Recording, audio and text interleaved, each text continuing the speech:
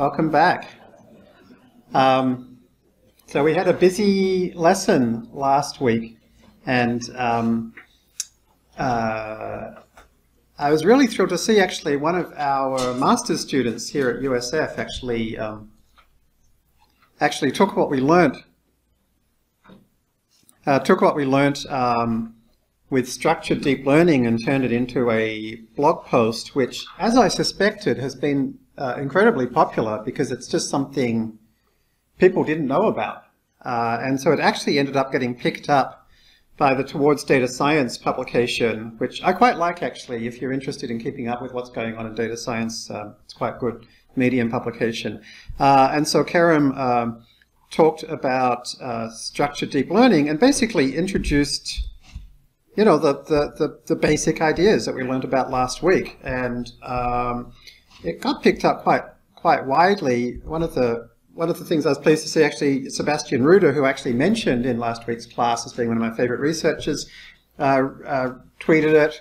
And then somebody from Stitch Fix said, oh yeah, we've actually been doing that for ages, which is kind of cute. Uh, I, I, I, kind of know that this is happening in industry a lot, and I've been telling people this is happening in industry a lot, but nobody's been talking about it. And now that Kerem's kind of published a blog saying, hey, check out this cool thing. And now Stitch Fix is like, yeah, we're doing that already. So, um, so that's been great. Uh, uh, great to see. And I think there's still a lot more that can be dug into with this structured deep learning stuff. You know, to build on top of Kerem's post would be to maybe like experiment with some different data sets, maybe find some old Kaggle competitions and see like, are there some competitions that you could now win with this or some which doesn't work for would be equally interesting. Um, and also like just experimenting a bit with different amounts of dropout, different layer sizes, you know, because um, nobody much has written about this. Uh, I don't think there's been any blog posts about this before that I've seen anywhere. Um, there's a lot of unexplored territory. Uh, so I think there's a, a lot we could we could build on top of here. And there's definitely a lot of interest. I saw one person on Twitter saying, this is what I've been looking for for ages. Um, another thing which uh, I was pleased to see is um, uh, Nikhil, who we saw his um, cricket versus baseball um, predictor as well as his uh, currency predictor after lesson one, um, went on to download something a bit bigger, which was to download a couple of hundred of images of, of actors and he manually uh, went through and checked which. Well, I think first of all he like used Google to try and find ones with glasses and ones without. Then he manually went through and checked that they had been put in the right spot. Um, and this is a good example of one where Vanilla ResNet didn't do so well with just the last layer. Um, and so what Nikhil did was he went through and tried unfreezing the layers and using differential learning rates and got up to 100% uh, accuracy. Um, and the thing I like about these things that Nikhil is doing is the way he's he's not downloading a Kaggle data set. He's like deciding on a problem that he's going to try and solve. He's going from scratch from Google, um, and he's actually got a link here even to uh, a suggested way to help you download images from Google. Uh, so I think this is great.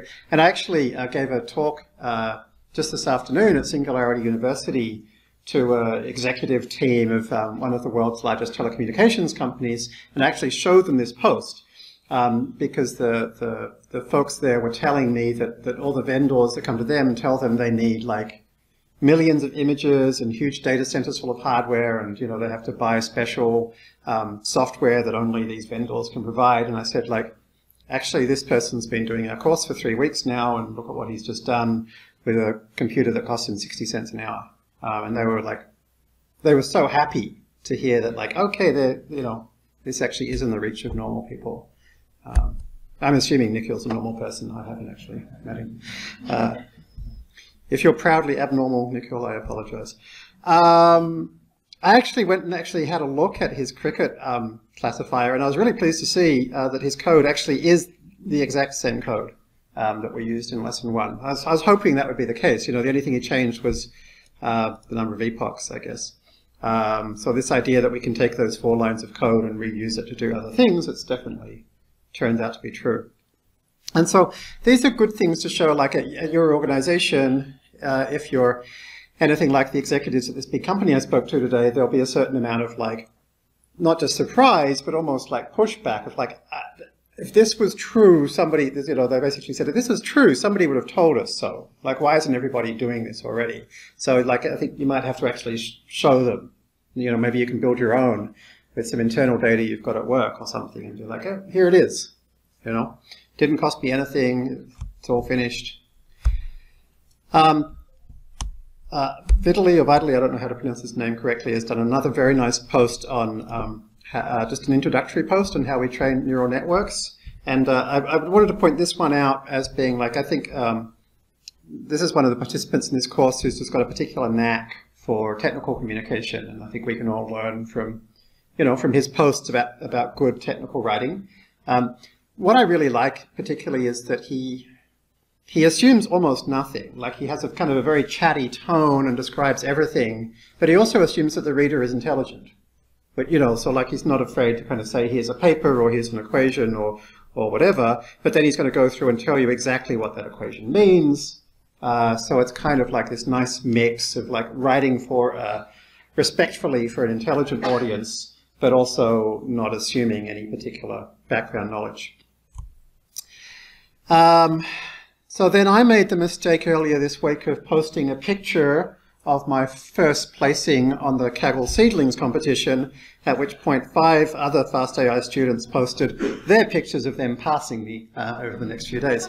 So uh, this is the current leaderboard for the Kaggle Plant Seedlings competition. I believe the top six are all FastAI students, or in, in the worst of those, teachers. Um, and so I think this is like a really um, Oh, look, James has just passed. He was first. Um, this is a really good example of like what you can do. You know, this is, uh, I'm trying to think. It was like a small number of thousands of images. Uh, um, and most of the images were only, were less than 100 pixels by 100 pixels. Um, and yet we, you know, I bet my, my approach was basically to say, let's just run through the notebook we have, pretty much default, took me, I don't know, an hour. Um, and I'm, I think the other students doing a little bit more than that, but not a hell of a lot more. And basically what this is saying is, yeah, these, these techniques work pretty reliably to a point where people that aren't using the FastAI libraries are, you know, literally really struggling. Um, I suspect all of these are first FastAI students. You might have to go down quite a way. Um, so I thought that was very interesting and really, really cool. So today we're going to start what I would kind of call like the second half of this course. So the first half of this course has been like getting through, like these are the applications that we can use this for, here's kind of the code you have to write.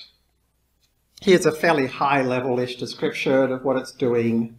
Um, and we're kind of we're we're kind of done for that bit. And what we're now going to do is go in reverse. We're going to go back over all of those exact same things again, but this time we're going to dig into the detail of every one, and we're going to look inside the source code of the FastAI library to see what it's doing and try to replicate um, that. So in a sense, like, there's not going to be a lot more best practices to show you. Like I've kind of shown you the best best practices I know, but I feel like for us to now build on top of those, to debug those models, to come back to part two where we're going to kind of try out some new things, you know, it really helps to understand what's going on behind the scenes. Okay, so the goal here today is we're going to try and create a pretty effective collaborative filtering model, um, uh, almost entirely from scratch. So we'll use the kind of, we'll use PyTorch as a automatic differentiation tool and as a GPU programming tool and not very much else. We'll try not to use its neural net features. We'll try not to use fast AI library any more than necessary. So that's the goal. So Let's go back and, you know, we only very quickly looked at collaborative filtering last time. So let's, let's go back and um, have a look at collaborative filtering. And so we're going to look at this uh, MovieLens data set. So the MovieLens data set um, basically is a list of ratings. It's got a bunch of different users that are represented by some ID and a bunch of movies that are represented by some ID and a rating Um, it also has a timestamp. I haven't actually ever tried to use this. I guess this is just like what what time did that person rate that movie. Um, so that's all we're going to use for modeling is uh, three columns, user ID, movie ID, and rating. And so thinking of that in kind of structured data terms, user ID and movie ID would be categorical variables. Uh, we have two of them, and rating would be a uh, would be a dependent variable. Um, we're not going to use this for modeling, but we can use it for looking at stuff later. We can grab a list of the names of the movies as well. Uh, and you could use this genre information. I haven't tried to. Uh, be interested if during the week anybody tries it and finds it helpful. Um, my guess is you might not find it helpful. We'll see. So um, in order to kind of look at this better, I just grabbed um, the uh, users that have watched the most movies and the movies that have been the most watched um, and made a crosstab of it, right? So this is exactly the same data, but it's a subset. And now rather than being user movie rating, we've got user movie rating. Uh, and so some users haven't watched some of these movies. That's why some of these are not a number. Okay. Uh, then I copied that into Excel. And you'll see there's a thing called collabfilter.xls. Um, if you don't see it there now, I'll make sure I've got it there by tomorrow. Um, um, and here is where I've copied that table. Okay, so as I go through this like setup of the problem and kind of how it's described and stuff, if, if you're ever feeling lost, feel free to um, ask either directly or through the forum. Um, if you ask through the forum and somebody answers there, I won't need to answer it here. Um, but if somebody else asks a question you would like answered, of course, just like it and um, net will keep an eye out for that. Because uh, kind of as we're digging in to the details of what's going on behind the scenes, it's kind of important that at each stage you feel like, okay, I can see what's going on. Okay. Um, okay. So we're actually not going to build a neural net to start with. Um, instead, we're going to do something called a matrix factorization. Um, uh, the reason we're not going to build a neural net to start with is that it so happens there's a really, really simple uh, kind of way of solving these kinds of problems, which I'm going to show you. Um, and so if I scroll down, I've basically, what I've got here is the same, the same thing, but this time these are my predictions rather than my actuals. And I'm going to show you how I created these predictions. Okay, so here are my actuals, right? Here are my predictions. And then down here, we have our score, which is the uh, sum of the difference squared, um, average, square root. Okay, so this is RMSE down here. Okay, so on average, where our, our randomly initialized model is out by 2.8. So let me show you what this model is. And I'm going to show you by saying, how do we guess how much user ID number 14 likes movie ID number 27. And the prediction here, this is just, at this stage, this is still random, is um, 0.91. So how are we calculating 0.91? And the answer is, we're taking it as this vector here, dot product with this vector here. So dot product means 0.71 times 0.19 plus 0.81 times 0.63 plus 0.74 plus 0.31 and so forth. And in you know linear algebra speak, because one of them is a column and one of them is a row, this is the same as a matrix product. So you can see here I've used the Excel function matrix multiply. Um, and that's my prediction. Um, having said that, if the uh, original um, rating doesn't exist at all, um, then I'm just going to set this to zero, right? Because like there's no error in predicting something that hasn't happened. Okay, so what I'm going to do is I'm basically going to say, all right, every one of my rate, rate, my predictions is not going to be a neural net. It's going to be a single matrix multiplication. Right? Now the matrix multiplication that it's doing is basically, in, in practice, is between like this matrix and this matrix, right? Uh, so each one of these is a single part of that. Right? Um, so I randomly initialize these. These are just random numbers um, that I've just pasted in here. Um, so I've basically started off with two random matrices, and I've said, let's assume for the time being that every rating can be represented as the, the matrix product of those two. Um, so then in Excel, um, you can actually do gradient descent. Um, you have to go to your options, uh, to the add-in section and, and check the box to say turn it on. And once you do, you'll see there's something there called solver. Uh, and if I go solver, it says, okay, what's your objective function? And you just choose the cell. So in this case, we chose the cell that contains our root mean squared error. And then it says, okay, what do you want to change? And you can see here we've selected this matrix and this matrix. And so it's going to do a gradient descent for us by changing these matrices to try and, in this case, minimize, because it says min, minimize this Excel cell, right? GRG nonlinear is a, is a gradient descent method. So I'll say solve, and you'll see it starts at 2.8, and then down here you'll see that number's going down. Right? We, it's not actually showing us what it's doing, but we can see that the number's going down. So this has kind of got a, a neural netty feel to it in that we're doing like a matrix product and we're doing a gradient descent, but we don't have a non-linear layer and we don't have a second linear layer on top of that. So we don't get to call this deep learning. So things where people do like deep learning-ish things where they have kind of um, matrix products and gradient descents, but it's not deep, people tend to just call that shallow learning. Okay, so we're doing shallow learning here. Um, Right, so I'm just going to go ahead and press escape to stop it because I'm sick of waiting. Um, and so you can see we've now got down to the 0.39. All right, so for example, um, it guessed that movie 72 for, sorry, movie 27 for user 72 would get 4.44 rating. 27, 72, it actually got a 4 rating. So you can see like it's, it's, it's doing something quite useful.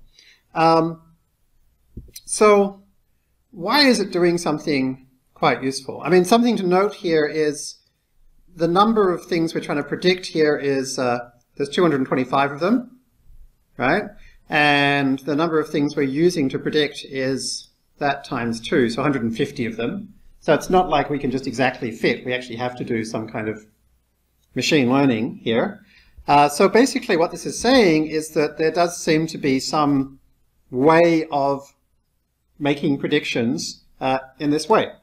And so for those of you that have done some linear algebra, um, this is actually a matrix decomposition. Normally in linear algebra you would do this using a, a, an analytical technique or using um, some techniques that are specifically designed for this purpose.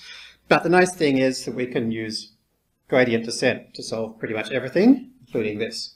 Um, I don't like to so much think of it from a linear algebra point of view, though. I like to think of it from an intuitive point of view, which is this. Let's say movie, uh, sorry, let's say movie ID 27 is Lord of the Rings Part 1.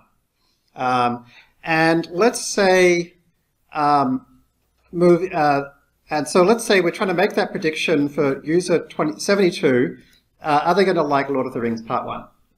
And so conceptually, that particular movie, maybe there's like, there's four, sorry, there's five numbers here. And we could say like, well, what if the first one was like, how much is it sci-fi and fantasy? And the second one is like, uh, how recent a movie and how much special effects is there, you know? And the one at the top might be like, how dialogue driven is it?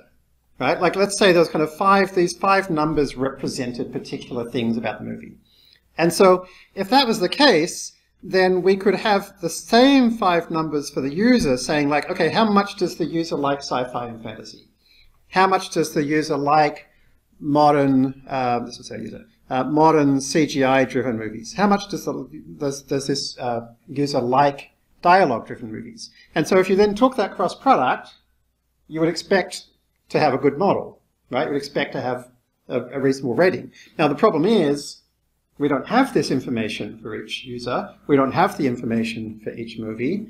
So we're just going to like assume that this is a reasonable kind of way of thinking about this system. And let's, and let stochastic gradient descent try and find these numbers, right? So, so in other words, these, these factors, we call these things factors, these factors, and we call them factors because you can multiply them together to create this, right? They're factors in a linear algebra sense. These factors, we call them latent factors because they're not actually, this is not actually a vector that we've like named and understood and like entered in manually. We've kind of assumed that we can think of movie ratings this way. We've assumed that we can think of them as a dot product of some particular features about a movie and some particular features of to what users like those kinds of movies right?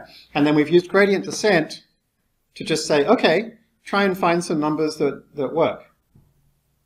Um, so that's, that's basically the technique, right? And it's kind of, uh, the, and, and the, the entirety is in this spreadsheet, right? So that is collaborative filtering using what we call probabilistic matrix factorization. Um, and as you can see, the whole thing is easy to do in an Excel spreadsheet, and the entirety of it really is this single thing, which is a single matrix multiplication um, plus randomly initializing. Jeremy, we would like to know um, if it would be better to cap this uh, to zero and five, maybe, yeah, so, so that no you don't question. get. Yeah, and we're going to do that later, right? There's a whole lot of stuff we can do to improve this. This is like our simplest possible starting point, right? So, so what we're going to do now is we're going to uh, try and implement this um, in Python uh, and run it on the whole data set. Another question is how do you figure out how many, you know, how it's clear how long are the metrics, yeah. Why is this five? How, yeah. Yeah. So something to think about, given that this is like movie 49, right? Um, and we're looking at a rating for movie 49, think about this. This is actually an embedding matrix. And so this length is actually the size of the embedding matrix. I'm not saying this is an analogy, I'm saying it literally. This is literally an embedding matrix. We could have a one-hot encoding where 72, uh, where a 1 is in the 72nd position, and so we'd like look it up and it would return this list of five numbers. So the question is actually, how do we decide on the dimensionality of our embedding vectors? And the answer to that question is we have no idea. Uh, we have to try a few things and see what works. Um, the underlying concept is you need to pick an embedding dimensionality which is enough to reflect the kind of true complexity of uh, this causal system, um, but not so big that you um, have too many parameters that it could take forever to, to run, or even with regularization it might overfit. So what does it mean when the factor is negative then? The factor being negative in the movie case would mean like this is not dialogue driven. In fact, it's like the opposite. Dialogue here is terrible. A negative for the user would be like, I actually dislike modern CGI movies. So it's not from zero to whatever. It's uh, the range of score would be negative. Is Yeah. there a range of score even like No. no ma- maximum? No, there's no constraints at all here. Okay. These are just standard embedding matrices. Thanks. Uh, I have a couple of questions. Uh, so first question is uh, why do why why can we trust these embeddings? Because like if you take a number six, it can be expressed as one into six, or like six into one, or two into three, and three into two. Oh, so are you saying like we could like reorder these five numbers in some other different order? Or like the value itself might be different as long as the product is something same. Well, but you see, we're using gradient descent to find the best numbers. So, like, once we've found a good minimum, the idea is like, yeah, there are other numbers, but they don't give you as good an objective uh, value. Let's. And of course, we should be checking that on a validation set, really, which we'll be doing in the Python version. Okay. And the second question is uh, when we have a new movie or a new user, do we have to retrain the model? That is a really good question, and there isn't a straightforward answer to that. Um, time permitting, we'll come back to it. Um, but basically, you would need to have like a kind of a new user model or a new movie model that you would use initially. Um, and then over time, yes, you would then have to retrain the model. So like, I don't know if they still do it, but Netflix used to have this thing that when you were first onboarded onto Netflix, it would say like, what movies do you like? And you'd have to go through and like say a bunch of movies you like, and it would then like train its model. Could you could you just find the nearest movie to the movie that you're trying to, to the new movie that you're trying to add, and then Yeah, you could use nearest neighbors for sure. Uh, but the the thing is, initially, at least in this case, we have no columns to describe a movie. So if you had something about like the movie's genre, release date, who was in it, or something, you could have some kind of non-collaborative filtering model. And that was kind of what I meant by like a, a, a new movie model. You'd have to have some some kind of predictors. Okay, so a lot of this is going to look familiar. And, and the way I'm going to do this is, again, is kind of this top-down approach. We're going to start using a few features of PyTorch and FastAI, and gradually we're going to redo it a few times in a few different ways, um, kind of doing a little bit deeper each time. Um, regardless, we do need a validation set. So we can use our standard cross-validation indexes approach to grab a random set of IDs. Um, this is something called weight decay, which we'll talk about later in the course. Um, for those of you that have done some machine learning, uh, it's L2 regularization, basically. Uh, and this is where we choose how big a um, embedding matrix do we want. Okay. Um, so again, you know, here's where we get our model data. Object um, from CSV, um, passing in that ratings file, which remember looks like that. Okay, so you'll see like stuff tends to look pretty familiar after a while. Um, and then you just have to pass in um, the uh, what are your rows effectively, what are your columns effectively, and what are your values effectively, right? So any any collaborative filtering recommendation system approach, there's basically a concept of like, you know, a user and an item. Um, now they might not be users and items, like if you're doing the that uh, Ecuadorian groceries competition, there are stores and items, and you're trying to predict how many things are you going to sell at this store of this type. Um, but generally speaking, just this idea of like you've got a couple of kind of high cardinality categorical variables and something that you're measuring, and you're kind of conceptualizing it as saying, okay, we could predict the rating, we can predict the value by doing this, this dot product. Um, interestingly, uh, and this is kind of relevant to that, that last question or suggestion, an identical way to think about this or to express this is to say, um, when we're deciding whether user 72 will like movie 27, is basically saying which other users liked movies that 72 liked and which other movies were liked by people like um, user 72. It turns out that these are basically two ways of saying the exact same thing. So basically what collaborative filtering is doing, you know, kind of conceptually, is to say, okay, this movie and this user, which other movies are similar to it in terms of like um, similar people enjoyed them, and which people are similar to this person based on people that like the same kind of movies. So that's kind of the, the underlying structure. And any time there's an underlying structure like this, that kind of collaborative filtering approach is likely to be useful. Okay, so um, so you yeah, so there's basically two parts, the two bits of your thing that you're factoring, and then the the value, the dependent variable. Um, so as per usual, we can take our model data and ask for a learner from it, and we need to tell it what size embedding matrix to use, um, how many, uh, sorry, what uh, validation set indexes to use, uh, what batch size to use, and what optimizer uh, to use. And we're going to be talking more about optimizers shortly. Uh, we won't do Adam today, but we'll do Adam next week or the week after. Uh, and then we can go ahead and say fit. All right, and uh, it all looks pretty similar. Interest, uh, it's usual. Interestingly, I only had to do three epochs. Like this kind of model seemed to train super quickly. Um, you can use the learning rate finder as per usual. All the stuff you're familiar with will work fine. Um, and that was it. So this took, you know, about two seconds. The train, there's no pre-trained anythings here. This is from random from scratch, right?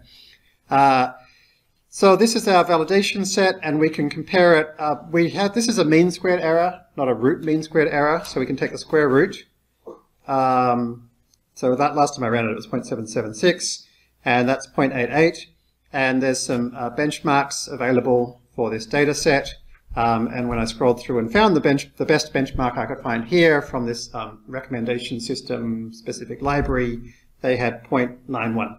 So we've got a better loss in two seconds uh, uh, already. So that's good. Um, so that's basically how you can do collaborative filtering with the FastAI library without thinking too much. Right. So now we're going to dig in and try and rebuild that. We'll try and get to the point that we're getting something around 0.77, 0.78 from scratch. Um, but if you want to do this yourself at home, you know, without worrying about the detail, that's, you know, those three lines of code is all you need. Okay, so we can get the predictions in the usual way, and, you know, we could, for example, plot, um, SNS is Seaborn. Seaborn's a really great plotting library. It sits on top of Matplotlib. Um, it actually leverages Matplotlib. Um, so anything you learn about Matplotlib will help you with Seaborn. It's got a few like nice little plots, like this joint plot um, here is uh, I'm doing uh, predictions uh, against um, against actuals. So these are my actuals, these are my predictions, and you can kind of see the the shape here is that as we predict higher numbers, they actually are higher numbers, and you can also see the histogram of the predictions and a histogram of the actuals. So I was just kind of plotting that just to show you another interesting visualization. Uh, could you please uh, explain the n factors, uh, why it's set to 50? It's set to 50 because I tried a few things and it seemed to work. That's all. What does it mean by that? It's, this, it's the dimensionality of the embedding matrix. Um, or to think of it in another way, it's like how, you know, rather than being 5, it's 50. Jeremy, um, I have a question about, uh, suppose that your um, um, recommendation system is more implicit, so you have zeros or ones instead of just um, actual numbers. Right. So basically we would then um, need to use a classifier instead of a regressor. Um, But you have to sample the negative or something like that. So if you don't have, if you just have ones, let's say, like just kind of implicit feedback. Oh, I'm not sure we'll get to that one in this class, but I, what I will say is like in the case that you're just doing classification rather than regression, um, we haven't actually built that in the library yet. Maybe somebody this week wants to try adding it. It would only be a small number of lines of code. You basically have to change the um, activation function to be a sigmoid, and you would have to change the, um, the criterion or the loss function to be uh, cross entropy uh, rather than um, RMSE. Uh, and that will give you uh, a classifier rather than a regressor. Uh, those are the only things you'd have to change. So hopefully somebody this week will take up that challenge, and by the time we come back next week, we will have that working. Okay. So um, I said that we're basically doing a, a, a, dot product, right? Or a, you know, a dot product is kind of the vector version, I guess, of, of the of this matrix product. Um, so we're basically doing each of these things times each of these things and then add it together. So that's a dot product. So let's just have a look at how we do that in PyTorch. So we can create a tensor in PyTorch just using this little capital T thing. Um, you can just say uh, that's the FastAI version. The full version is torch dot from NumPy or something. Um, but I've got it set up so you can basically pass in even a list of lists. So this is going to create a torch tensor with 1, 2, 3, 4. And then here's a torch tensor with 2, 2, 10, 10. Okay, uh, so here are two torch tensors. I didn't say dot CUDA, so they're not on the GPU, they're sitting on the CPU, just FYI. Uh, we can multiply them together, right? And so anytime you have a mathematical operator between tensors in NumPy or PyTorch, um, it will do element-wise, assuming that they're the same dimensionality, which they are. They're both 2 by 2. Okay, and so here we've got uh, 2 by 2 is 4, 3 by 10 is 30, and so forth. Okay, so there's our A times B. So if you think about basically what we want to do here is we want to take um, um, okay, so I've got 1 times 2 is 2, 2 times 2 is 4, 2 plus 4 is 6, and so that is actually the dot product between 1, 2 and 2, 4. And then here we've got 3 by 10 is 30, 4 by 40, sorry, 4 by 10 is 40, 30 and 40 is 70. So in other words, A times B dot sum along the first dimension, so that's summing up the columns, in other words, across a row, okay? This thing here is doing the dot product of each of these rows with each of these rows. Does that make sense?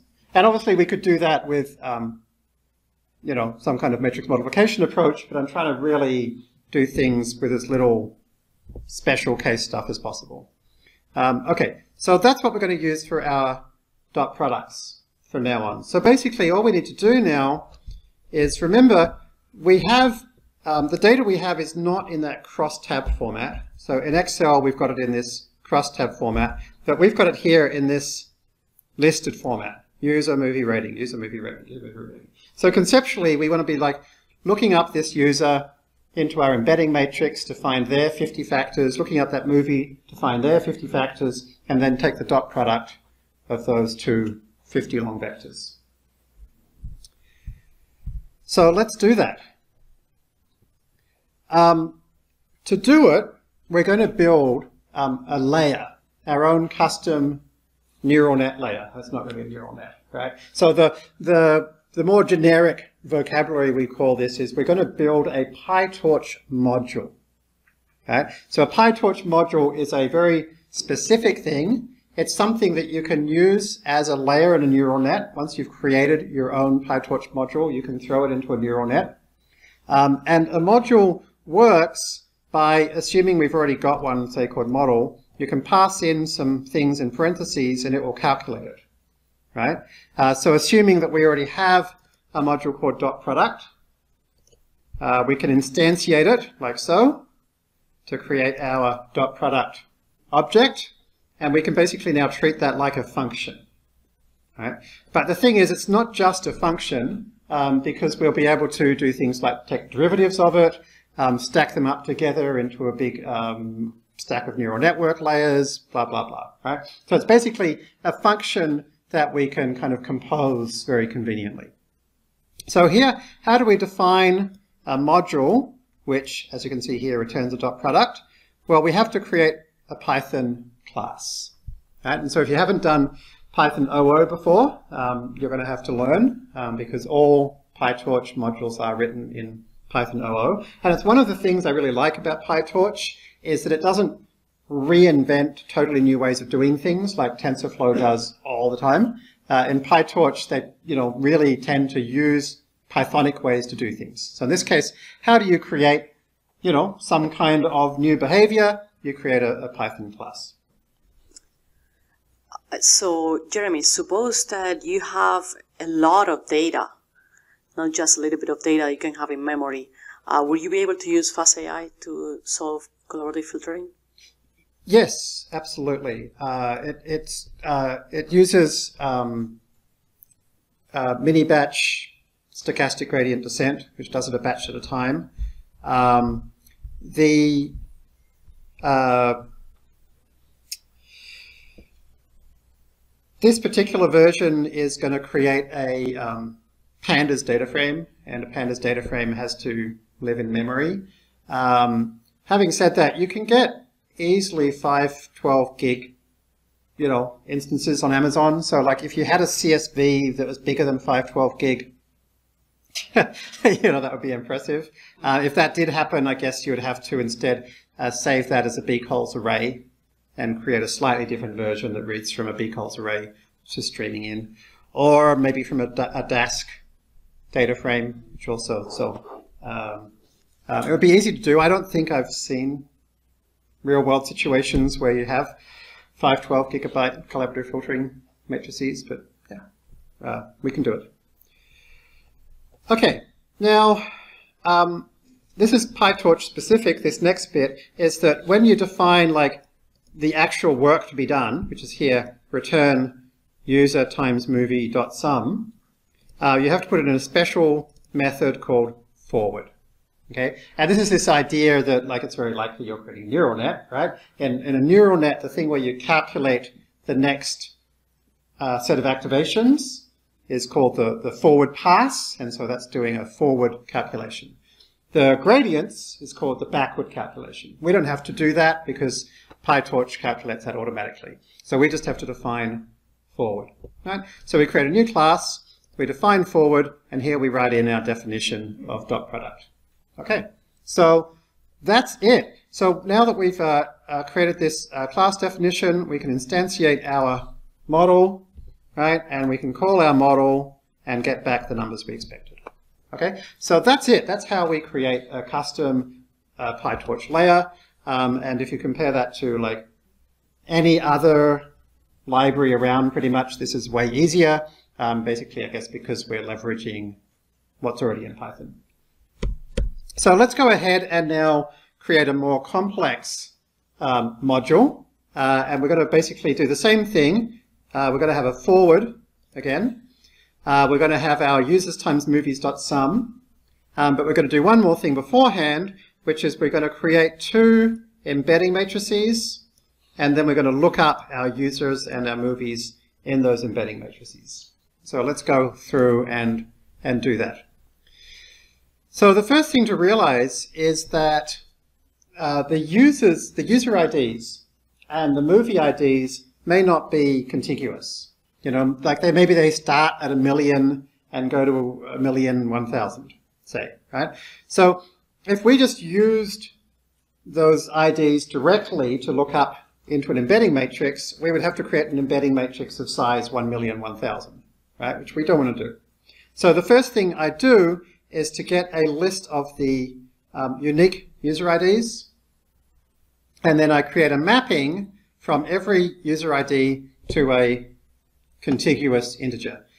This thing I've done here, where I've created a dictionary which maps from every unique thing to a unique index, is well worth studying during the week because like it's it's super super handy. It's something you very very often have to do in all kinds of machine learning right?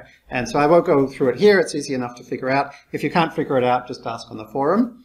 Um, anyway, so once we've got the mapping from user to a contiguous index, uh, we then um, can say, let's now replace the user ID column with that contiguous index, right? So pandas.apply applies an arbitrary function.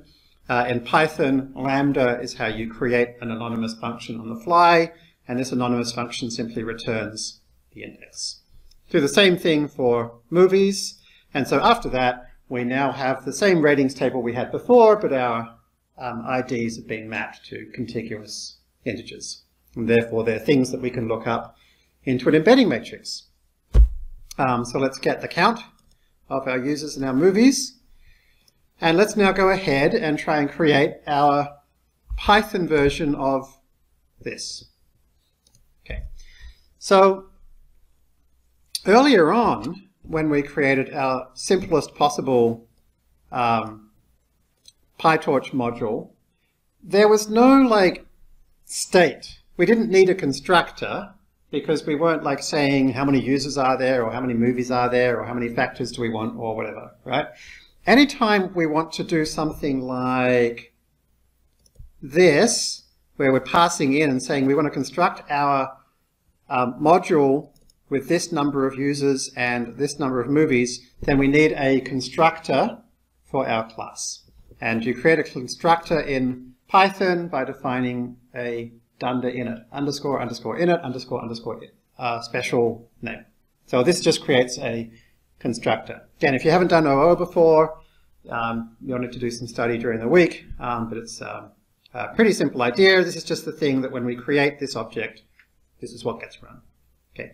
Uh, again, special Python thing, when you uh, create your own constructor, you have to call the parent class constructor, and if you want to have all of the cool behavior of a PyTorch module, you get that by inheriting from nn.module, neural net module. Okay, so basically by inheriting here and calling the superclass constructor, we now have a fully functioning PyTorch layer.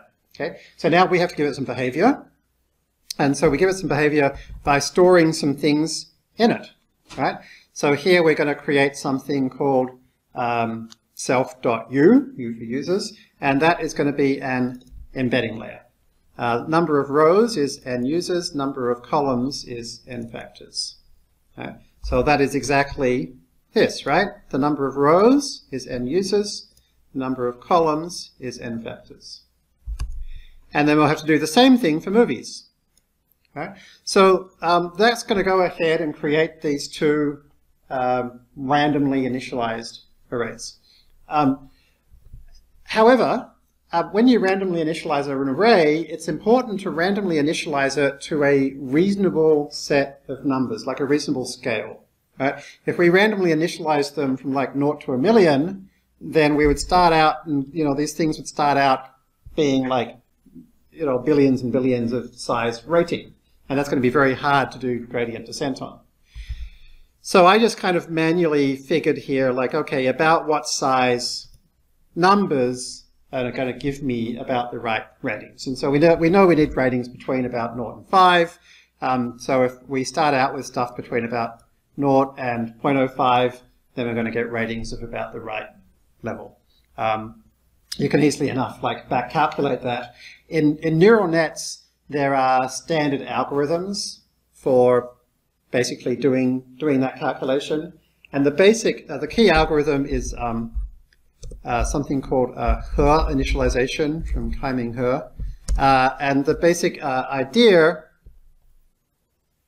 um, is that you take the, um, ah, here uh, you basically set the weights uh, equal to a normal distribution um, uh, with a standard deviation which is basically inversely proportional to the number of things in the previous layer. Uh, and so in our previous layer, um,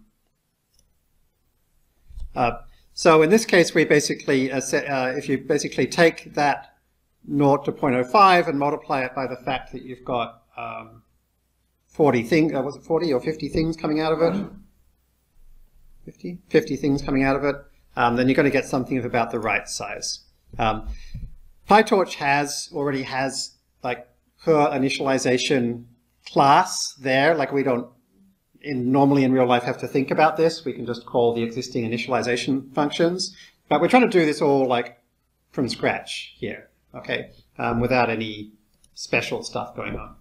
Um, so there's quite a bit of uh, PyTorch notation here. So self.u we've already set to uh, an instance of the embedding class.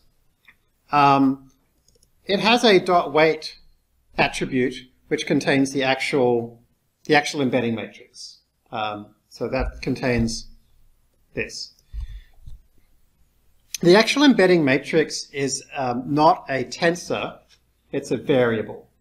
A variable is uh, exactly the same as a tensor. In other words, it supports the exact same operations as a tensor, um, but it also uh, does automatic differentiation. That's all a variable is, basically. Um, to pull the tensor out of a variable, you get its data attribute. Okay, so this is so this is now the tensor of the weight matrix of the self.u embedding. And then something that's really handy to know is that all of the tensor functions in PyTorch, you can stick an underscore at the end and that means do it in place, right? So this is say, create a random, uniform random number of an appropriate size for this tensor, and don't return it, but actually fill in that matrix in place. Okay, so that's a super handy thing to know about. Um, I mean, it wouldn't be rocket science otherwise. We would have to have gone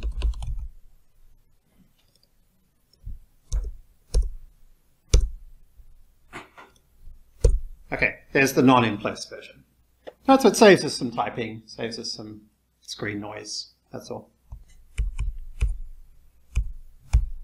Okay, um, so now we've got our randomly initialized uh, embedding weight matrices.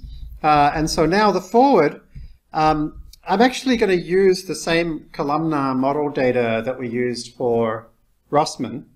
Um, and so it's actually going to be passed both categorical variables and continuous variables.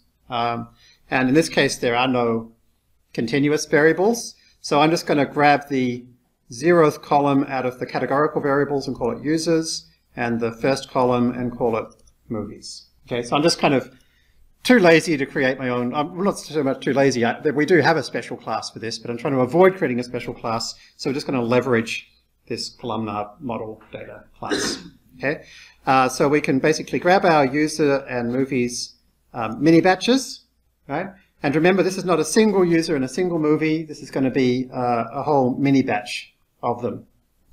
Um, we can now look up that mini batch of users in our embedding matrix U and the movies in our embedding matrix M. Right? So this is like exactly the same as just doing an array lookup to grab the, the user ID numbered value, but we're doing it a whole mini batch at a time.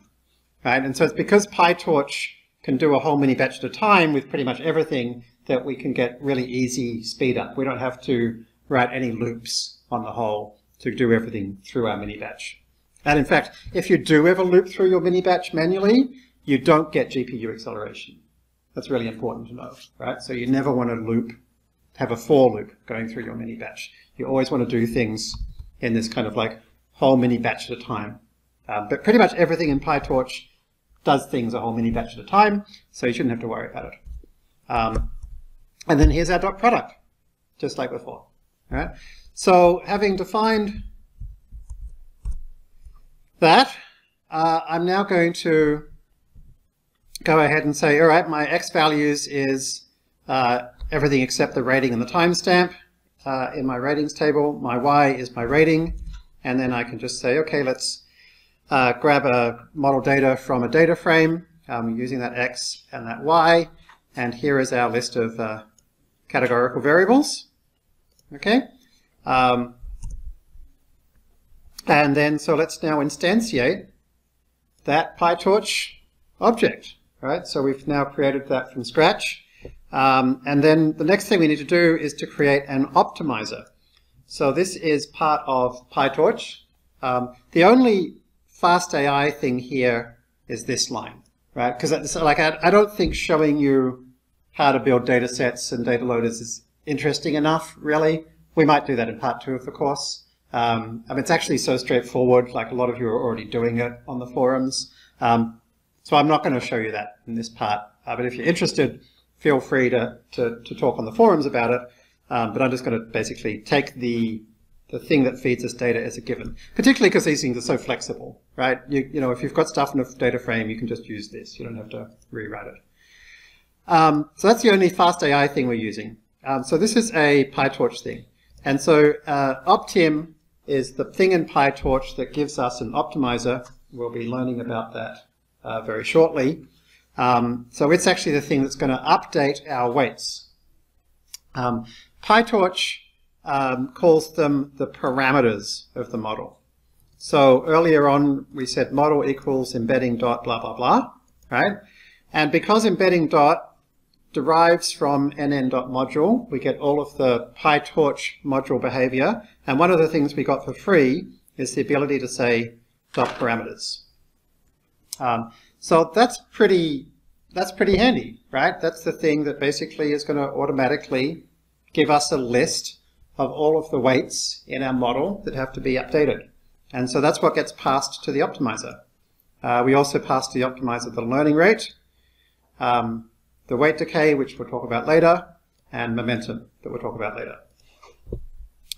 Um, okay, one other thing that I'm not going to do right now, but we will do later, is to write a training loop. So the training loop is a thing that loops through each mini batch and updates the weight to subtract the gradient times the learning rate. Um, there's a function in FastAI which is the training loop. Um, and it's uh, it's pretty simple. Here it is, right?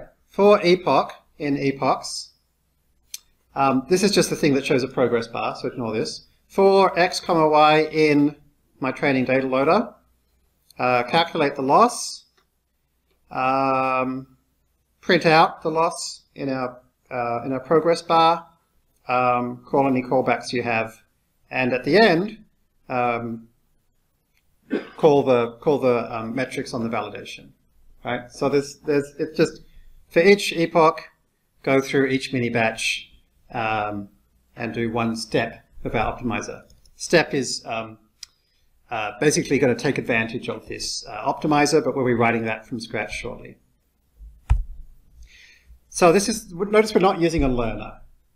Okay, we're just using a PyTorch module. So this, this fit thing, although it's part of FastAI, it's like lower down the layers of abstraction now. This is the thing that takes a regular PyTorch model. So if, if you ever want to like skip as much FastAI stuff as possible, like you've got some PyTorch model, you've got some code on the internet, you basically want to run it, but you don't want to write your own training loop, um, then this is, this is what you want to do.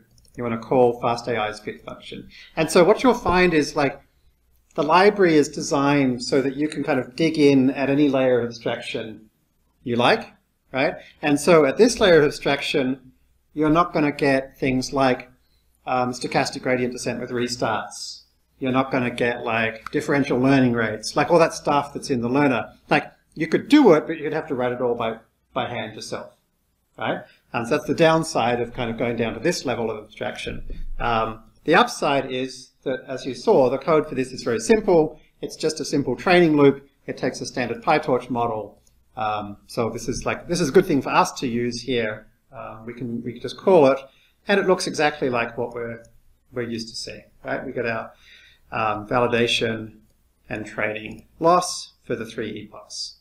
Okay. Now you'll notice that we wanted something around 0.76. Um, so we're not there. So in other words, the, the, the, default FastAI collaborative filtering algorithm is doing something smarter than this. Um, so we're going to try and do that. Um, one thing that we can do, since we're calling our, you know, this lower level fit function, there's no learning rate annealing, we could do our own learning rate annealing. So you can hear, see here, there's a FastAI function called set learning rates. You can pass in a standard PyTorch optimizer and pass in your new learning rate and then call fit again. And so this is how we can like manually do uh, a learning rate schedule. And so you can see we've got a little bit better, 1.13. We've still got a long way to go. Okay. So I think what we might do is we might have a, um, seven minute break, and then we're going to come back and uh, try and uh, improve this score a bit.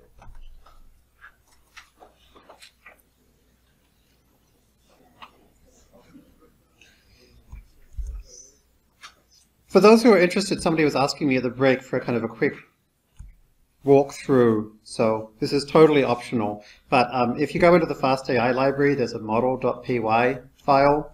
Um, and uh, that's where fit is, which we're just looking at, um, which goes through uh, each epoch in epochs, and then goes through each x and y in the mini batch, and then it calls this uh, step function. Uh, so the step function um, is uh, here, and you can see the key thing is it calculates the output from the model. The model's called M, right? And so if you remember um, our dot product, we didn't actually call model dot forward, we just called model parentheses. And that's because the um, nn dot module automatically, you know, when you call it as if it's a function, it passes it along to forward. Okay, so that's that's what that's doing there, right? And then the rest of this we'll we'll learn about shortly, which is basically doing the um, the loss function, and then the, the backward pass. Okay, so for those who are interested, that's that's kind of gives you a bit of a sense of how the code is structured if you want to look at it. Um, and as I say, like the the FastAI code is designed to both be world-class performance, but also pretty easy to read. So like, feel free, like, take a look at it, and if you want to know what's going on, just ask on the forums. Um, and if you, you know, if you think there's anything that could be clearer, um, uh, let us know.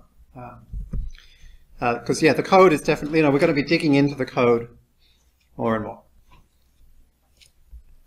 Okay, so let's try and improve this a little bit, and let's start off by improving it in Excel. Um, so you might have noticed here that we've kind of got the idea that user 72, you know, like sci-fi, modern movies with special effects, you know, whatever, and movie number 27 is sci-fi and has special effects and not much dialogue. Um, but we're missing an important piece, which is like user 72 is pretty enthusiastic on the whole, and on average rates things highly, highly, you know. And movie 27, you know, it's just a popular movie, you know, which just, on average, it's higher. So what we'd really like is to add a constant for the user and a constant for the movie. And remember, in, in neural network terms, we call that a bias, right? So we want to add a bias. So we could easily do that and if we go into the bias tab, here we've got the same data as before, and we've got the same um, latent factors as before, and I've just got one extra row here and one extra column here, and you won't be surprised hear that we now take the same matrix multiplication as before, and we add in that, and we add in that. Okay, so that's our bias. So other than that, we've got exactly the same loss function over here. And so just like before, we can now go ahead and solve that. And now our changing variables include the bias. And we can say solve. And if we leave that for a little while, it will come to a um, better result than we had before. Okay, so that's the first thing we're going to do to improve our model. And there's really very little to show. Um, just to make the code uh, a bit shorter, I've defined a function called getEmbedding, which takes a number of inputs and a number of factors. So the number of rows in the embedding matrix and the number of columns in the embedding matrix.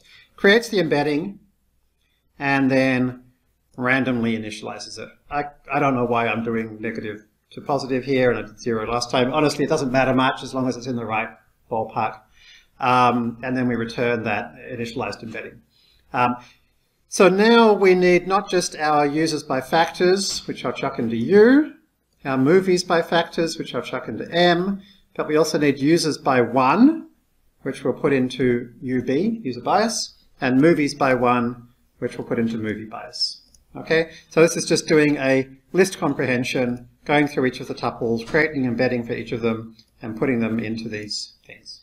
Okay, so now our forward is exactly the same as before. Uh, u times m dot sum.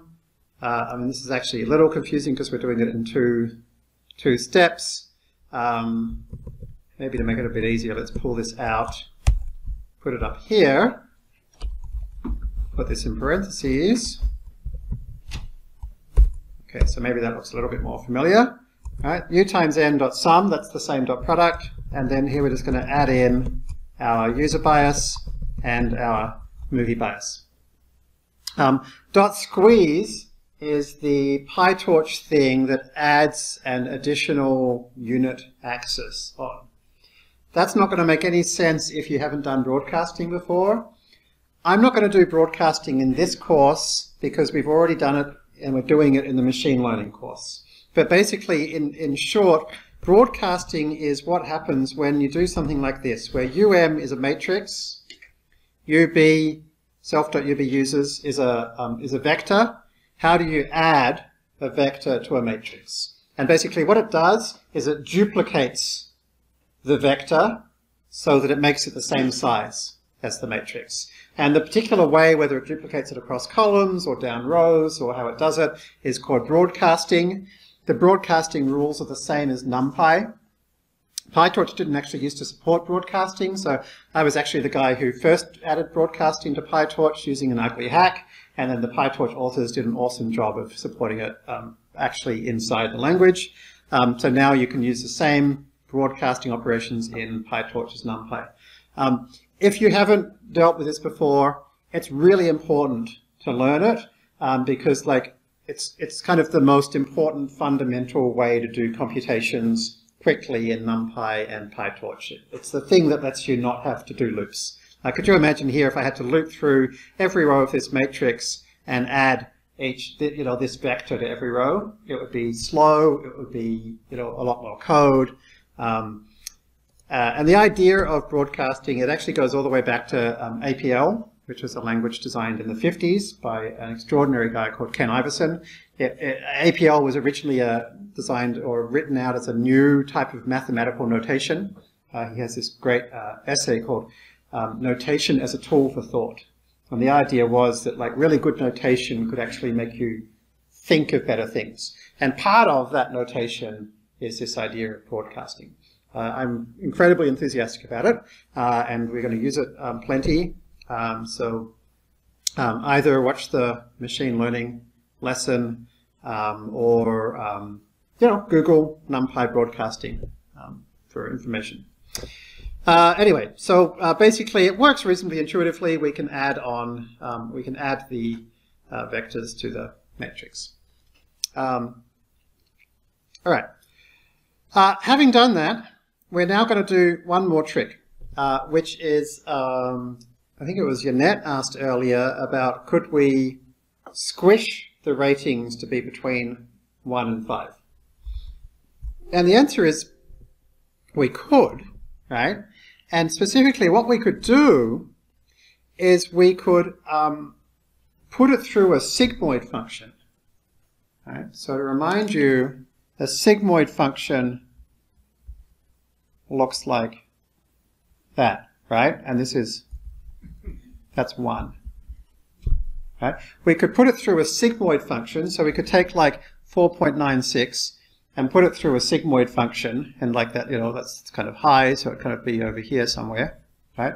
Um, and then we could multiply that sigmoid, like the result of that by 5, for example, right? And in this case, we want it to be between 1 and 5, right? So maybe we'd might multiply it by 4 and add 1, for instance. Um, so that's the basic idea. Um, and so here is that trick. We take the result, so the result is basically the, the thing that comes straight out of the um, dot product plus the addition of the biases, um, and put it through a sigmoid function. Now in PyTorch, um, basically all of the functions you can do to tensors are available inside this thing called capital F. And this is like totally standard in PyTorch. Uh, it's actually called torch.nn.functional, but everybody, including all of the PyTorch docs, import torch.nn.functional as capital F. Right? So capital F.sigmoid means a function called sigmoid that is coming from Torch's functional module. Right? And so that's going to apply a sigmoid function to the result. So I'll squish them all between 0 and 1 using that nice little shape. And then I can multiply that by 5 minus 1 equals 4, right? And then add on 1, and that's going to give me something between 1 and 5. Okay, so like there's no need to do this. I could comment it out and it'll still work, right? But now it has to come up with a set of calculations that are always between 1 and 5 right? Whereas if I leave this in, then it's like makes it really easy. It's basically like, oh, if you think this is a really good movie, just calculate a really high number. If it's a really crappy movie, calculate a really low number, and I'll make sure it's in the right region. So even though this isn't a neural network, it's still a good example of this kind of like, if you're doing any kind of parameter fitting, try and make it so that the thing that you want your function to return, it's like it's easy for it to return that. Okay, um, so that's why we do that that function squishing. Um, so we call this embedding.bias. Uh, so we can create that in the same way as before. You'll see here I'm calling .cuda to put it on the GPU because we're not using any learner stuff. Normally that'll all happen for you, but we have to manually say put it on the GPU. Uh, this is the same as before, create our optimizer, fit exactly the same as before, and these numbers are looking good. Right? And again, we'll do a little um, change to our learning rate, learning rate schedule, and we're down to 0.8. So we're actually pretty close. Pretty close. Um, so that's the key steps. Um, and this is how this is how most um, collaborative filtering is done. And um, Yannet reminded me of an important point, which is that this is not, strictly speaking, a matrix factorization. Because strictly speaking, a matrix factorization would take that matrix by that matrix to create this matrix. And remembering um, anywhere that this is empty, like here or here, we're putting in a zero, right? We're saying if the original was empty, put in a zero, right? Now, normally you can't do that with normal matrix factorization. With normal matrix factorization, it creates the whole matrix. And so it was a real problem, actually, when people used to try and use traditional linear algebra for this, because when you have these sparse matrices, like in practice, this matrix is not doesn't have many gaps because we picked the users that watch the most movies and the movies that are the most watched. But if you look at the whole matrix, it's it's mainly empty. And so traditional techniques treated empty as zero. And so like you basically have to predict a zero as if the fact that I haven't watched a movie means I don't like the movie. And that gives terrible answers.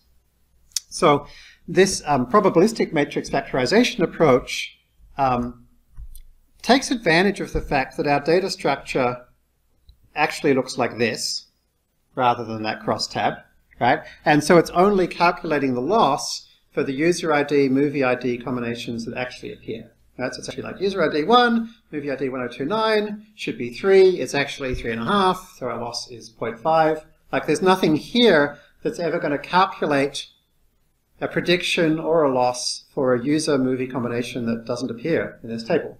Right? By definition, the only stuff that we can appear in a mini batch is what's in this table. Okay? And like a lot of this happened, interestingly enough, actually in the Netflix prize. Um, so before the Netflix prize came along, this probabilistic matrix factorization, it, it had actually already been invented but nobody noticed. Right? And then in the first year of the Netflix prize, someone wrote this like really, really famous blog post where they basically said like, hey, check this out. Uh, incredibly simple technique, works incredibly well, and suddenly all the Netflix leaderboard entries went much, much better. Uh, and so, you know, that's quite a few years ago now, and this is like now every collaborative filtering approach does this. Not every collaborative filtering approach adds this sigmoid thing, by the way. It's not like rocket science. This is this is not like the NLP thing we saw last week, which is like, hey, this is a new state of the art. Like this is, you know, not particularly uncommon, but there are still people that, that don't do this. And it definitely helps a lot, right, to have this. And so, um, actually, you know, what we could do is maybe now's a good time to have a look at the definition of this, right? So the column data module uh, contains all these definitions. Um, and we can now compare this to the thing we originally used, which was whatever came out of collab filter dataset. Right? So let's go to collab filter dataset. Here it is. And we called get learner. Right? So we can go down to get learner. And that created a collab filter learner, passing in the model from get model. Here's get model. So it created an embedding.bias. And so here is embedding.bias. And you can see here, here it is, like it's the same thing. There's the embedding for each of the things. Here's our forward that does the u times i dot sum plus plus sigmoid. So in fact, we have just actually rebuilt what's in the FastAI library, literally. Okay. Um, it's a little shorter and easier because we're taking advantage of the fact that there's a special um, collaborative filtering data set. Um, so we can actually, we're getting passed in the users and the items and we don't have to pull them out of cats and conts. Um, but other than that, this is exactly the same. So hopefully you can see like the, the FastAI library is not some inscrutable code containing concepts you can never understand. We've actually just built up this entire thing from scratch ourselves. And so why did we get uh, 0.76 rather than 0.8? Um, you know, I, I, think it's simply because we used stochastic gradient descent with restarts and a cycle multiplier and an Adam optimizer. You know, like a few little training tricks. Uh, yes, Unit. So I'm, I'm, looking at this and um, thinking that is uh, we could to to totally improve this model, but maybe looking at the date and doing hmm. some tricks with the date because yeah. this this is kind of a just a regular kind of model in yeah. a way. Yeah. You can add more features. yeah, exactly, exactly. So like now that you've seen this, you could now, you know, even if you didn't have embedding.bias in a notebook that you've written yourself, but it's some other model that's in FastAI, you could look at it in FastAI and be like, oh, that does most of the things that I'd want to do, but it doesn't deal with time. And so you could just go, oh, okay, let's grab it, copy it, you know, pop it into my notebook, and let's create, you know, the better version, right? And then you can start playing, right? And you can now create your own model class from the open source code here. And so, um, yeah, Yannet's mentioning a couple of things we could do. We could try incorporating timestamps, so we could assume that maybe, um, well, maybe there's just like some uh, uh, for a particular user over time, users tend to get more or less positive about movies. Um, also remember there was the uh, list of genres for each movie. Maybe we could incorporate that.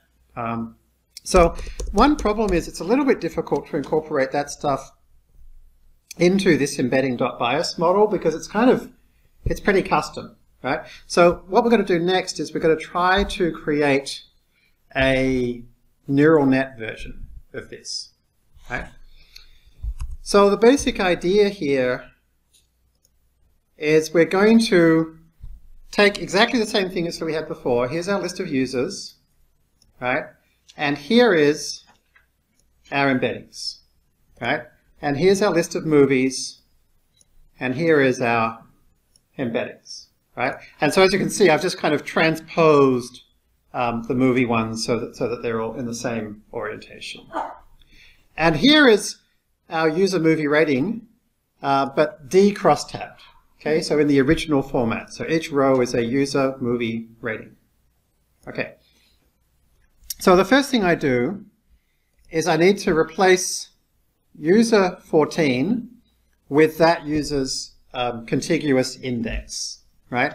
And so I can do that in Excel using this um, match that basically says what, you know, how far down this list do you have to go. And it said uh, user 14 was the first thing in that list.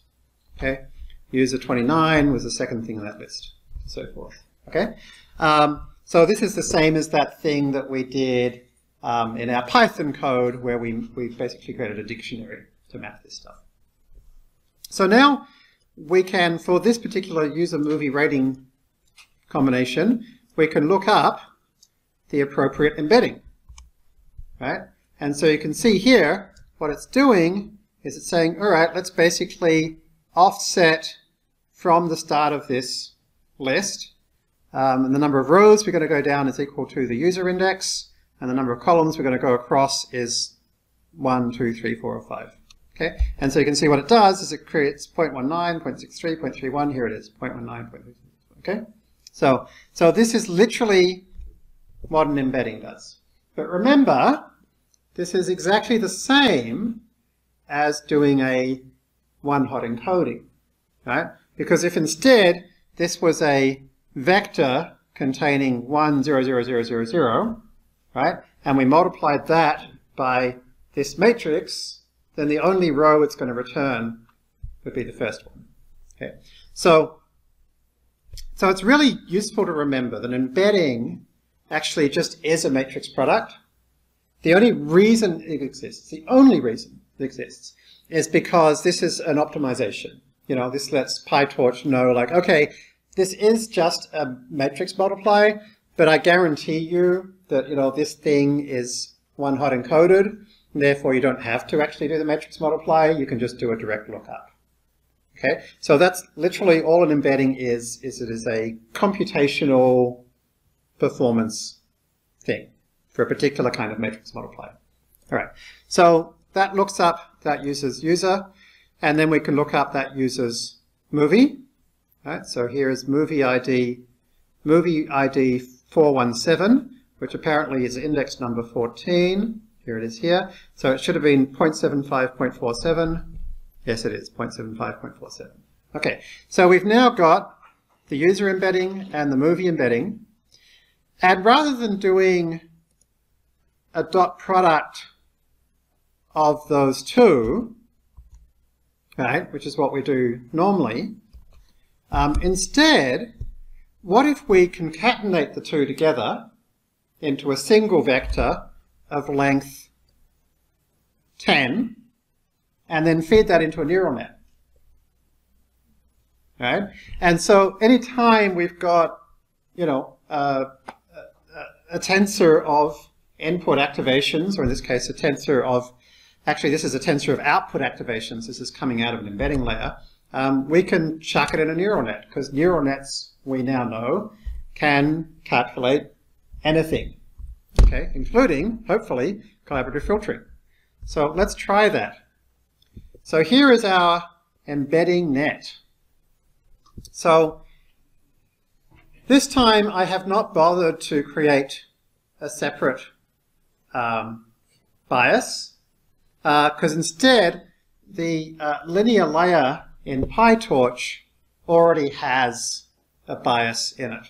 Right? So when we go nn.linear, right, let's kind of draw this out. So we've got our U matrix, right? And this is the number of users. And this is the number of factors, right? And we've got our M matrix, right? So here's our number of movies, and here's our, again, number of factors, right? And so remember we look up a single user, we look up a single movie, and let's grab them and concatenate them together. Right, so here's like the user part, here's the movie part. Okay. And then let's put that through a matrix product. Right, so that number of rows here is going to have to be the number of users plus the number of movies, right, because that's how long that is. And then the number of columns can be anything we want. because we're going to take that, so in this case we're going to pick 10 apparently, so let's pick 10. And then we're going to stick that through a ReLU, and then stick that through another matrix, which obviously needs to be of size 10 here, and then the number of columns is of size 1 because we want to predict a single rating. Okay, and so that's our kind of flow chart of what's going on, right? It is a standard, um, I would call it a one hidden layer neural net. It depends how you think of it. Like there's kind of an embedding layer, but because this is linear and this is linear, the two together is really one linear layer, right? It's just a computational convenience. So it's really got one hidden layer because it's just got one layer before this nonlinear activation. Right? So in order to create a, um, uh, a linear layer with some number of rows and some number of columns, you just go nn.linear. Um, in the machine learning class this week, we learnt how to create a linear layer from scratch by creating our own weight matrix and our own biases. So if you want to check that out, um, you can do so there, right? But it's the same basic technique we've already seen. Um, so we create our embeddings, we create our two linear layers. Um, that's all the stuff that we need to start with. Um, you know, really, if I wanted to make this more general, I would have had another parameter here called like um, num hidden, you know, equals equals 10, and then this would be a parameter. And then you could like more easily play around with different numbers of activations. So when we say like, okay, in this layer, I'm going to create a layer with this many activations, all I mean, assuming it's a fully connected layer, is my linear layer has how many columns in its weight matrix. That's how many activations it creates. All right, so we grab our users and movies, we put them through our embedding matrix, and then we concatenate them together. Okay, so torch.cat concatenates them together on the first dimension. So in other words, we concatenate the columns together to create longer rows. Okay, so that's concatenating on dimension one. Uh, dropout we'll come back to in a moment. Uh, we've looked at that briefly. Um, so then, having done that, we'll put it through that linear layer we had. We'll do our ReLU, and you'll notice that ReLU is, again, inside our capital F, uh, nn.functional, right? It's just a function. So remember, activation functions are basically things that take one activation in and spit one activation out. In this case, take in something that can have negatives or positives and truncate the negatives to zero. That's all ReLU does. Um, and then here's our sigmoid. So that's that that is now a genuine neural network. I don't know if we get to call it deep. It's only got one hidden layer, but it's definitely a neural network, right? And so we can now construct it. We can put it on the GPU. We can create an optimizer for it, and we can fit it. Now you'll notice there's one other thing I've been passing to fit, which is what loss function are we trying to minimize? Okay, and this is the mean squared error loss. And again, it's inside f. Okay, pretty much all the functions are inside f. Okay, so one of the things that you have to pass fit is something saying like, how do you score this? What counts as good or bad? So Jeremy, now that we have um, a real neural net, do we have to use the same number of embeddings for users and? That's a great question. You, you don't. No, it's absolutely right. You don't. And so, like, we've got a lot of benefits here, right? Because if we, you know, think about, um, you know, we're grabbing a user embedding, we're concatenating it with a movie embedding, which maybe is like, I don't know, some different size. Um, but then also perhaps we looked up the genre of the movie and like, you know, there's actually a embedding matrix of like number of genres by, I don't know, three or something. And so like we could then concatenate like a genre embedding and then maybe the timestamp is in here as a continuous number, right? And so then that whole thing we can then feed into, you know, our neural net. Right? And then at the end, remember our final nonlinearity was a sigmoid, right? So we can now recognize that this thing we did where we did sigmoid times max rating minus min rating plus blah, blah, blah, um, is actually just another nonlinear activation function, right? And remember in our last layer, we use generally different kinds of activation functions. So, as we said, we don't need any activation function at all, right? We could just do that, right? But by not having any nonlinear activation function, we're just making it harder, so that's why we put the sigmoid in there as well, okay? So uh, we can then fit it in the usual way, and there we go. You know, interestingly, we actually got a better score than we did with our this model. Um, so it'll be interesting to try training this with stochastic gradient descent with restarts and see if it's actually better. Um, you know, maybe you can play around with the number of hidden layers and the dropout and whatever else and see if you can come up with, you know, uh, get a better answer than point seven six ish.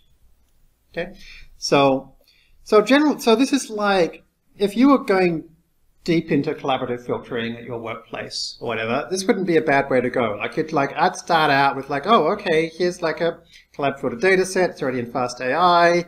Get learner. There's you know not much I can send it. Basically, number of factors is about the only thing that I pass in. Uh, I can learn for a while, maybe try a few different approaches, and then you're like, okay, there's like, that's how I go if I use the defaults.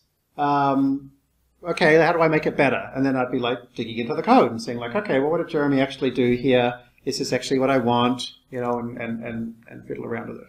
So one of the nice things about the neural net approach is that, you know, as Yannet mentioned, um, we can have different numbers of embeddings. Uh, we can choose how many hidden, and we can also choose dropout, right? So, so what we're actually doing is we haven't just got ReLU, but we're also going like, okay, let's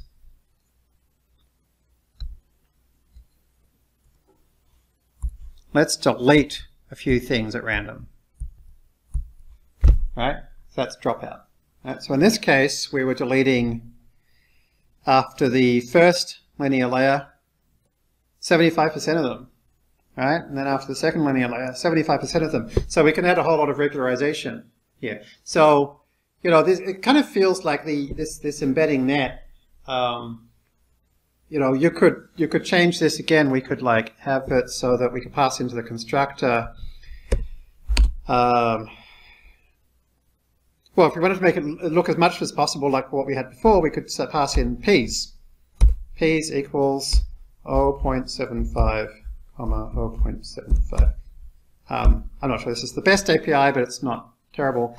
Um, probably what, since we've only got exactly two layers, we could say p1 equals 0.75. 0.75. P2 equals 0.75. And so then this will be P1. This will be P2. You know, uh, where we go.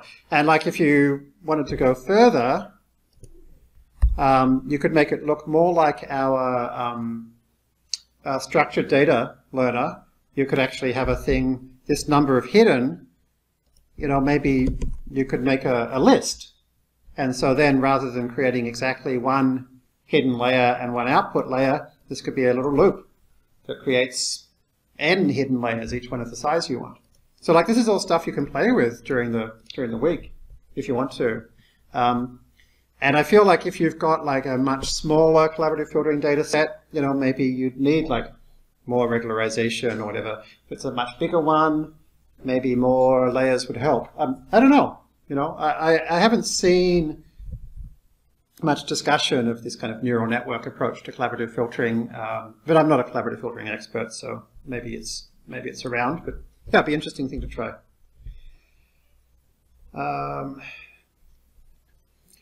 so the next thing I wanted to do was to talk about um, the training loop. So what's actually happening inside the training loop. So at the moment, we're basically passing off the actual updating of the weights to PyTorch's optimizer. Um, but what I want to do is like understand what that optimizer is, is actually doing. Uh, and we're also, I also want to understand what this momentum term is doing. So you'll find we have a spreadsheet called GradDesc, Gradient Descent. Uh, and it's kind of designed to be read left to right, uh, sorry, right to left, uh, worksheet-wise.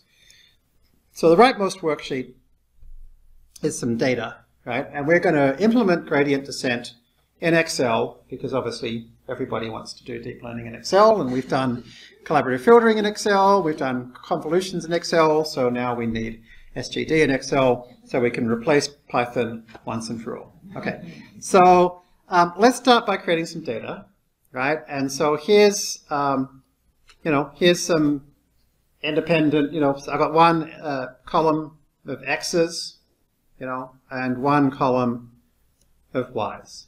And uh, these are actually directly linearly related. So this is this is random, right? And this one here is equal to x times 2 plus 30. Okay, so let's try and use Excel to take that data and try and learn those parameters. Okay, that's going to be our goal. So let's start with the most basic version of SGD. And so the first thing I'm going to do is I'm going to run a macro so you can see what this looks like. So I'll hit run and it does five epochs. I do another five epochs, do another five epochs. Okay, so um, the first one was pretty terrible. It's hard to see, so I'll just delete that first one to get better scaling. All right, so you can see actually it's pretty constantly improving the loss, right? This is the loss per epoch. All right, so how do we do that? So let's reset it. Um, so here is my x's and my y's. And what I do is I start out by assuming some intercept and some slope, right? So this is my randomly initialized weights. So I have randomly initialized them both to 1. Uh, you could pick a different random number if you like, uh, but I promise that I randomly picked the number 1 uh, twice. There you go. Um, it was a random number between 1 and 1. So here is my intercept and slope. I'm just going to copy them over here, right? So you can literally see this is just equals C1, here is equals C2. Okay, so I'm going to start with my very first row of data, x equals 14, y equals 58. And my goal is to come up, um, after I look at this piece of data, I want to come up with a slightly better intercept and a slightly better slope. Okay?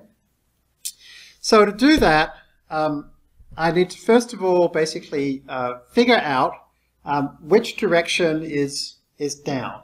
In other words, if I make my intercept a little bit higher or a little bit lower, would it make my error a little bit better or a little bit worse?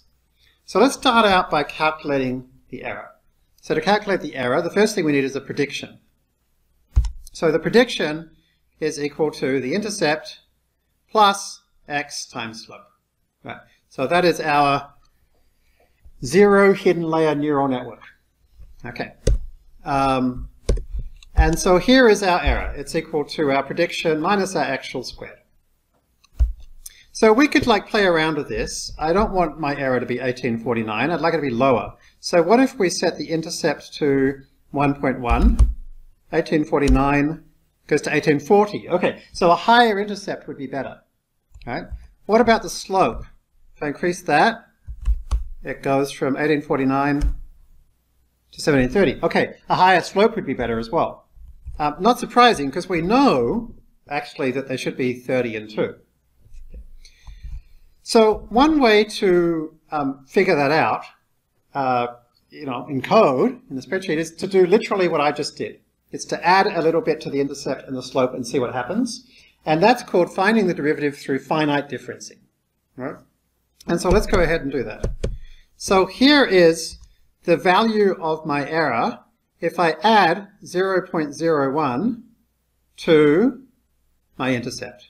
Right? So it's C4 plus 0.01 and then I just put that into my linear function, and then I subtract my actual all squared, right? And so that causes my error to go down a bit. Right? So increasing um, my, um, one is that? Increasing C4, increasing the intercept a little bit has caused my error to go down. So what's the derivative? Well, the derivative is equal to how much the dependent variable changed by divided by how much the independent variable changed by, right? And so there it is, right? Our dependent variable changed by that minus that, right? And our independent variable we changed by 0.01. So there is the estimated value of the error dB, right? So remember when people are talking about derivatives, right, this is, this is all they're doing, right? Is they're saying, what's this value? But as we make this number smaller and smaller and smaller and smaller, right? As it, as it limits to zero. um, I'm not smart enough to think in terms of like derivatives and integrals and stuff like that. So whenever I think about this, I always think about, you know, an actual like plus 0.01 divided by 0.01 because like I just find that easier.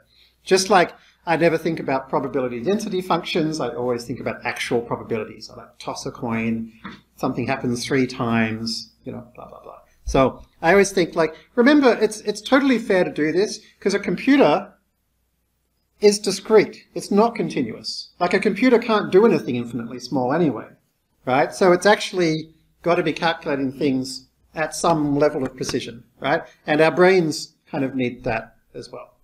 So this is like my version of Geoffrey Hinton's like to visualize things in more than two dimensions. You just like say 12 dimensions really quickly while visualizing it in two dimensions. This is my equivalent, you know, to, to, to think about derivatives, just think about division.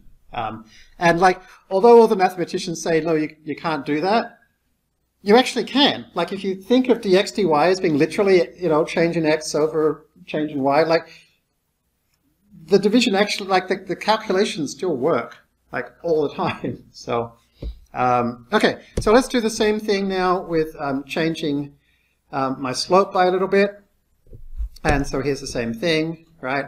And so you can see both of these are negative. Okay, so that's saying if I increase my intercept, my loss goes down. If I increase my slope, my loss goes down, right? And so my derivative of my error with respect to my slope is, is actually pretty high.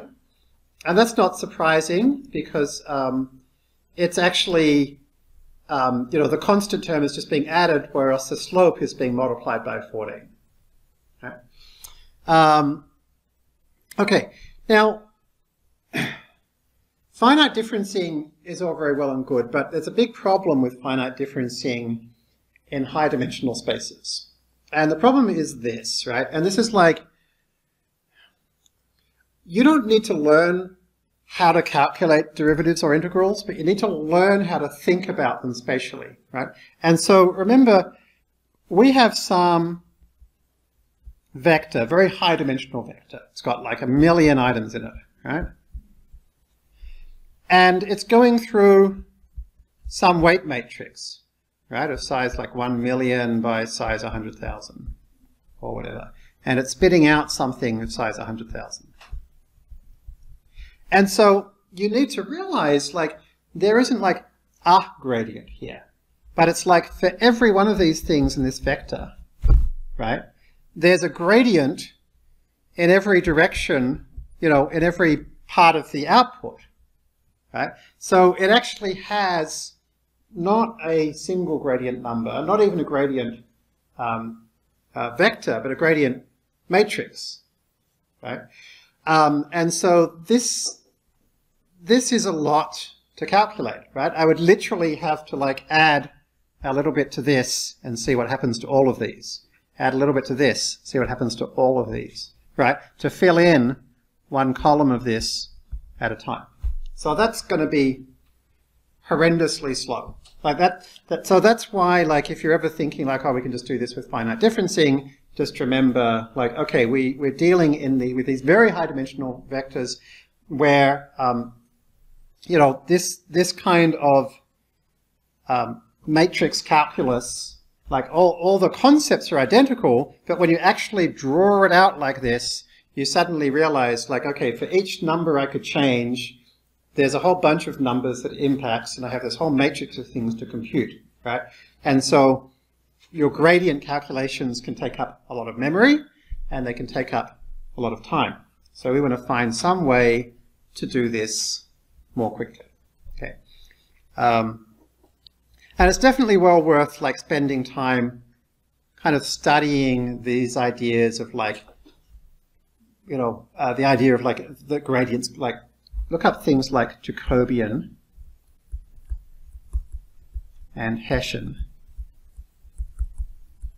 They're the things that you want to search for to start learning about this. Unfortunately, people normally write about them with, you know, lots of Greek letters and blah blah blahs, right? But there are some there are some nice you know, intuitive explanations out there, and hopefully you can share them on the forum if you find them. Because this is stuff you, you really need to, really need to understand in here. you know, because you're trying to train something and it's not working properly and like later on we'll learn how to like look inside PyTorch to like actually get the values of the gradients and you need to know like, okay, well, how would I like plot the gradients? You know, what would I consider unusual? Like, you know, these are the things that turn you into a really awesome deep learning practitioner is when you can like debug your problems by like grabbing the gradients and doing histograms of them and like knowing, you know, that you could like plot that, oh, each layer, my average gradient's getting worse or, you know, bigger or, you know, whatever. Okay, so the trick to doing this more quickly is to do it um, analytically uh, rather than through finite differencing.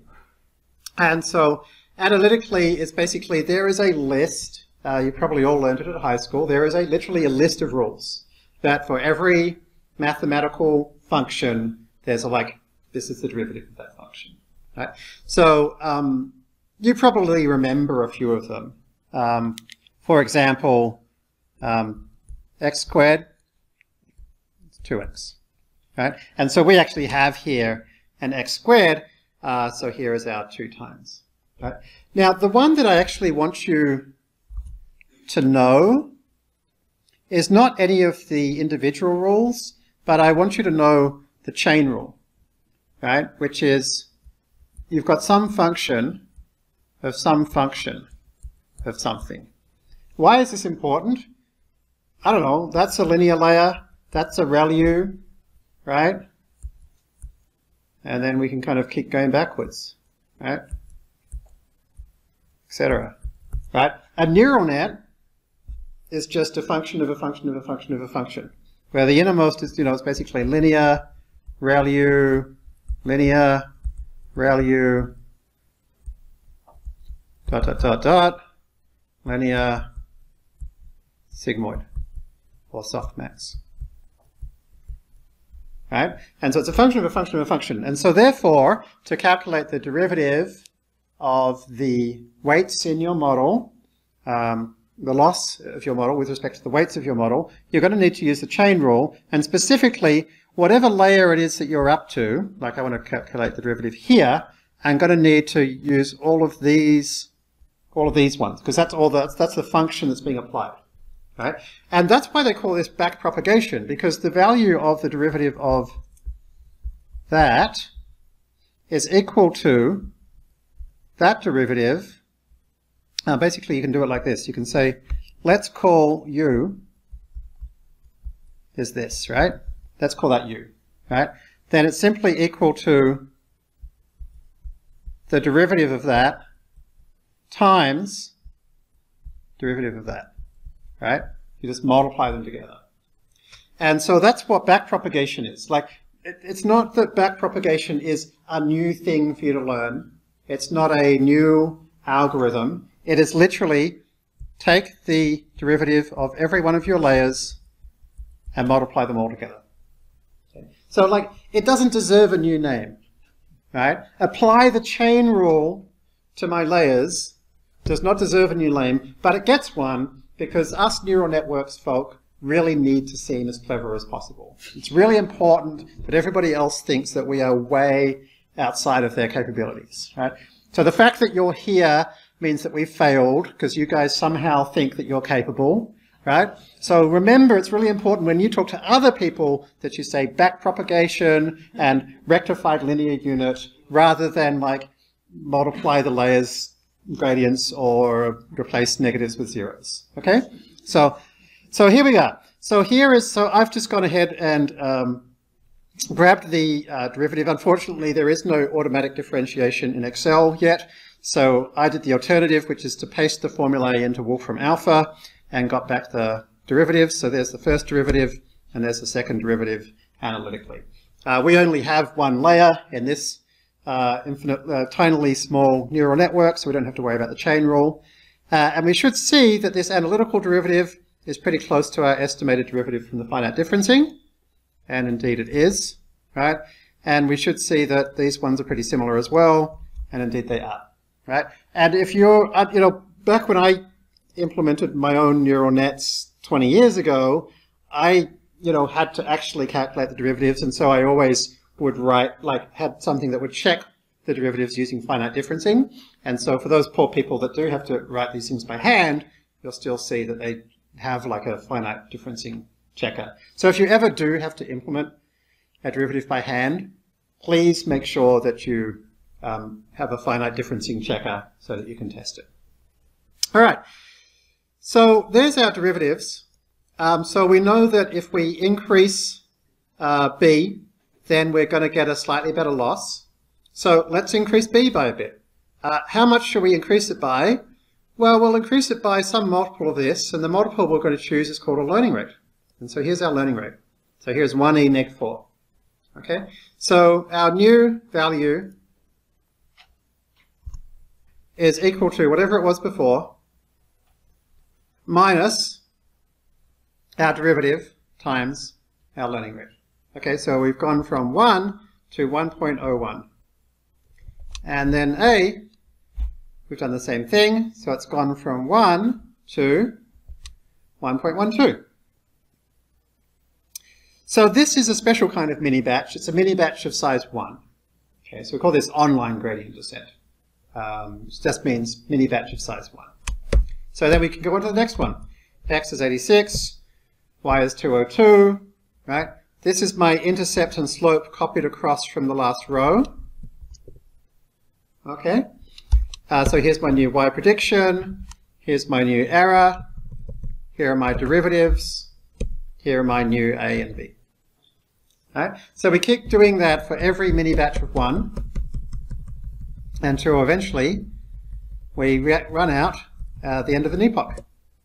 Okay? And so then at the end of an epoch, we would grab our intercept and slope and paste them back over here as our new values. There we are. And we can now continue again. Right, so we're now starting with, oopsie daisy, that put them in the wrong spot. They should be paste special transpose values. All right. Okay, so there's our new intercept. There's our new slope. Possibly I got those the wrong way around, but anyway, you get the idea. And then we continue. Okay, so I recorded um, the world's tiniest macro, um, which literally just um, uh, copies the final slope and puts it into the new slope, copies the final um, uh, intercept, puts it into the new intercept, um, and does that five times. And after each time, it grabs the root mean squared error and pastes it into the next spare area and that is attached to this run button, and so it's going to go ahead and do that five times. Okay? So that's stochastic gradient descent in Excel. So um, it, to turn this into a CNN, right, you would just replace this error function, right, and therefore this prediction with the output of that convolutional example spreadsheet. Okay, and that then would be an, a CNN being trained with with SGD. Okay. Um, now the problem is that you'll see when I run this, it's kind of going very slowly, right? We know that we need to get to a slope of 2 and an intercept of 30, and you can kind of see at this rate, it's going to take a very long time right? And specifically, it's like it keeps going the same direction. So it's like, come on, take a hint. That's a good direction. So the come on, take a hint, that's a good direction, please keep doing that, but more is called momentum. Right? So on our next spreadsheet, we're going to implement momentum. Okay. So what momentum does is the same thing. And what, to simplify this spreadsheet, I've removed the finite differencing columns. Okay. Other than that, this is just the same, right? So we've still got our x's, our y's, our a's and b's, our predictions. Um, our error is now over here. Okay. Um, and here's our derivatives. Okay. Um, our new calculation for, let's grab a particular row. Um, our new calculation here for our new um, A term, uh, just like before, is it's equal to whatever A was before, um, minus, okay, now this time I'm not taking the derivative, but I'm minusing some other number times the learning rate. So what's this other number? Okay, so this other number is equal to the derivative times, what's this? K1, 0.02, plus 0.98 times the thing just above it. Okay, so this is a linear interpolation between this row's derivative, or this mini batch's derivative, and whatever direction we went last time. Right? So in other words, keep going the same direction as you were before, right? But update it a little bit, right? And so in our um, spreadsheet, uh, in our Python just before, we had a momentum of 0.9. Okay, so you can see what tends to happen is that our negative kind of gets more and more negative, right? All the way up to like 2000. Whereas with our standard SGD approach, our derivatives are kind of all over the place, right? Sometimes they're 700, sometimes negative 700, positive 100, you know. So this is basically saying like, yeah, if, if you've been going down for quite a while, keep doing that. Until finally here it's like, okay, that's that seems to be far enough. So now it's getting less and less and less negative, right? Until we start going positive again. So you can kind of see why it's called momentum. It's like once you start traveling in a particular direction for a particular weight, you kind of, the wheels start spinning, and then once the gradient turns around the other way, it's like, oh, slow down, we've got this kind of momentum, and then finally turn back around, right? So when we do it this way, right, we can do exactly the same thing, right? And after five iterations, we're at 89, whereas before, after five iterations, we're at 104, right? And after a few more, let's do maybe 15. Okay, so that gets us to 102, whereas here,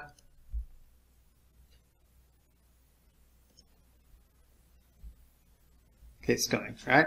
So it's it's it's a bit better. It's not heaps better. You can still see like these numbers, they're not zipping along, right? But it's definitely an improvement. And it also gives us something else to tune, which is nice. Like, so if this is kind of a well-behaved error surface, right? In other words, like, although it might be bumpy along the way, there's kind of some overall direction. Like imagine you're going down a hill, right? And there's like bumps on it right? So the more, more momentum you get up, you're kind of skipping over the tops, right? So we could say like, okay, let's increase our beta up to 0.98, right?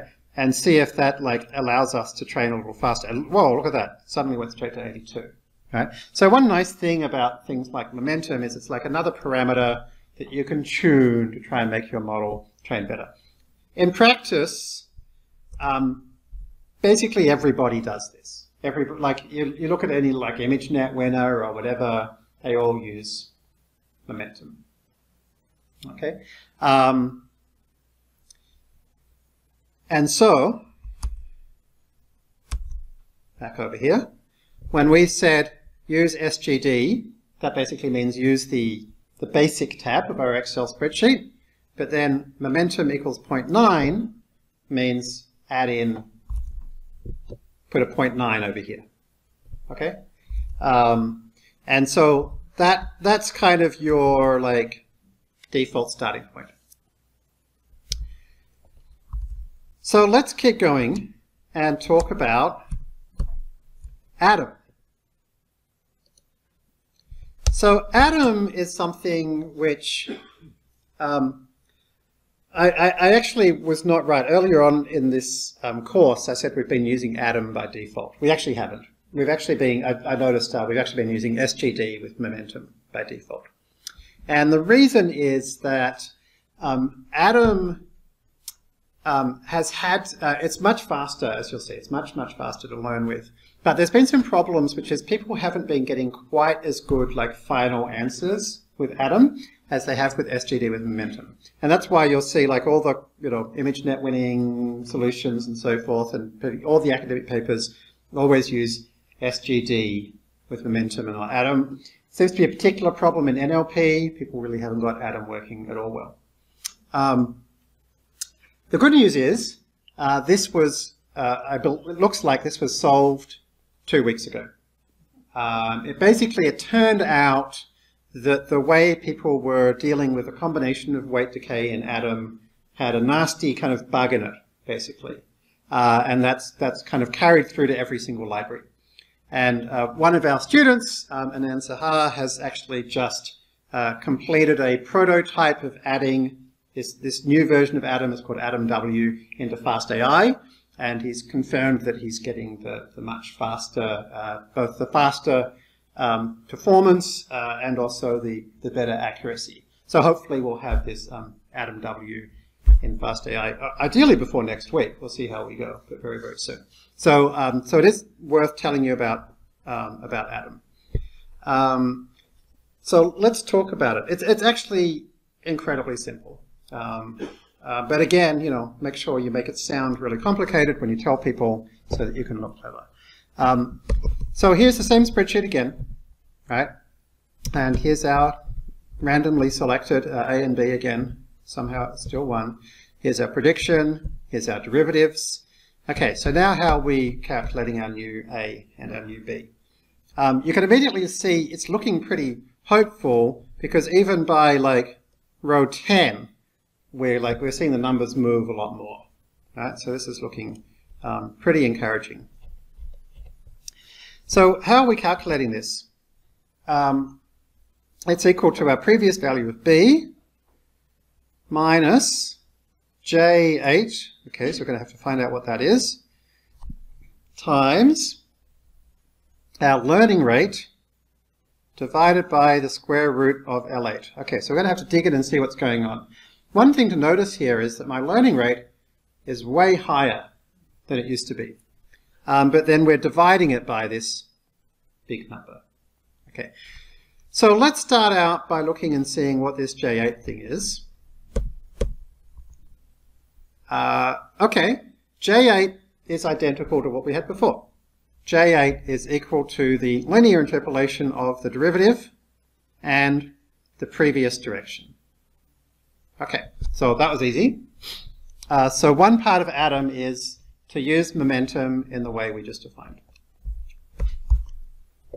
Okay, the second piece was to divide by square root L8. What is that? Square root L8, okay, is another linear interpolation of something and something else. And specifically, it's a linear interpolation of f8 squared Okay, it's a linear interpolation of the derivative squared, uh, along with the derivative squared last time. Okay, so in other words, we've got two pieces of momentum going on here. One is calculating the momentum version of the gradient. The other is calculating the momentum version of the gradient squared. And we often refer to this idea as a um, exponentially weighted moving average. In other words, it's basically equal to the average of this one and the last one and the last one and the last one, but we're like multiplicatively decreasing the previous ones, right? Because we're multiplying it by 0.9 times 0.9 times 0.9 times 0.9. And so you actually see that, for instance, in the FastAI code,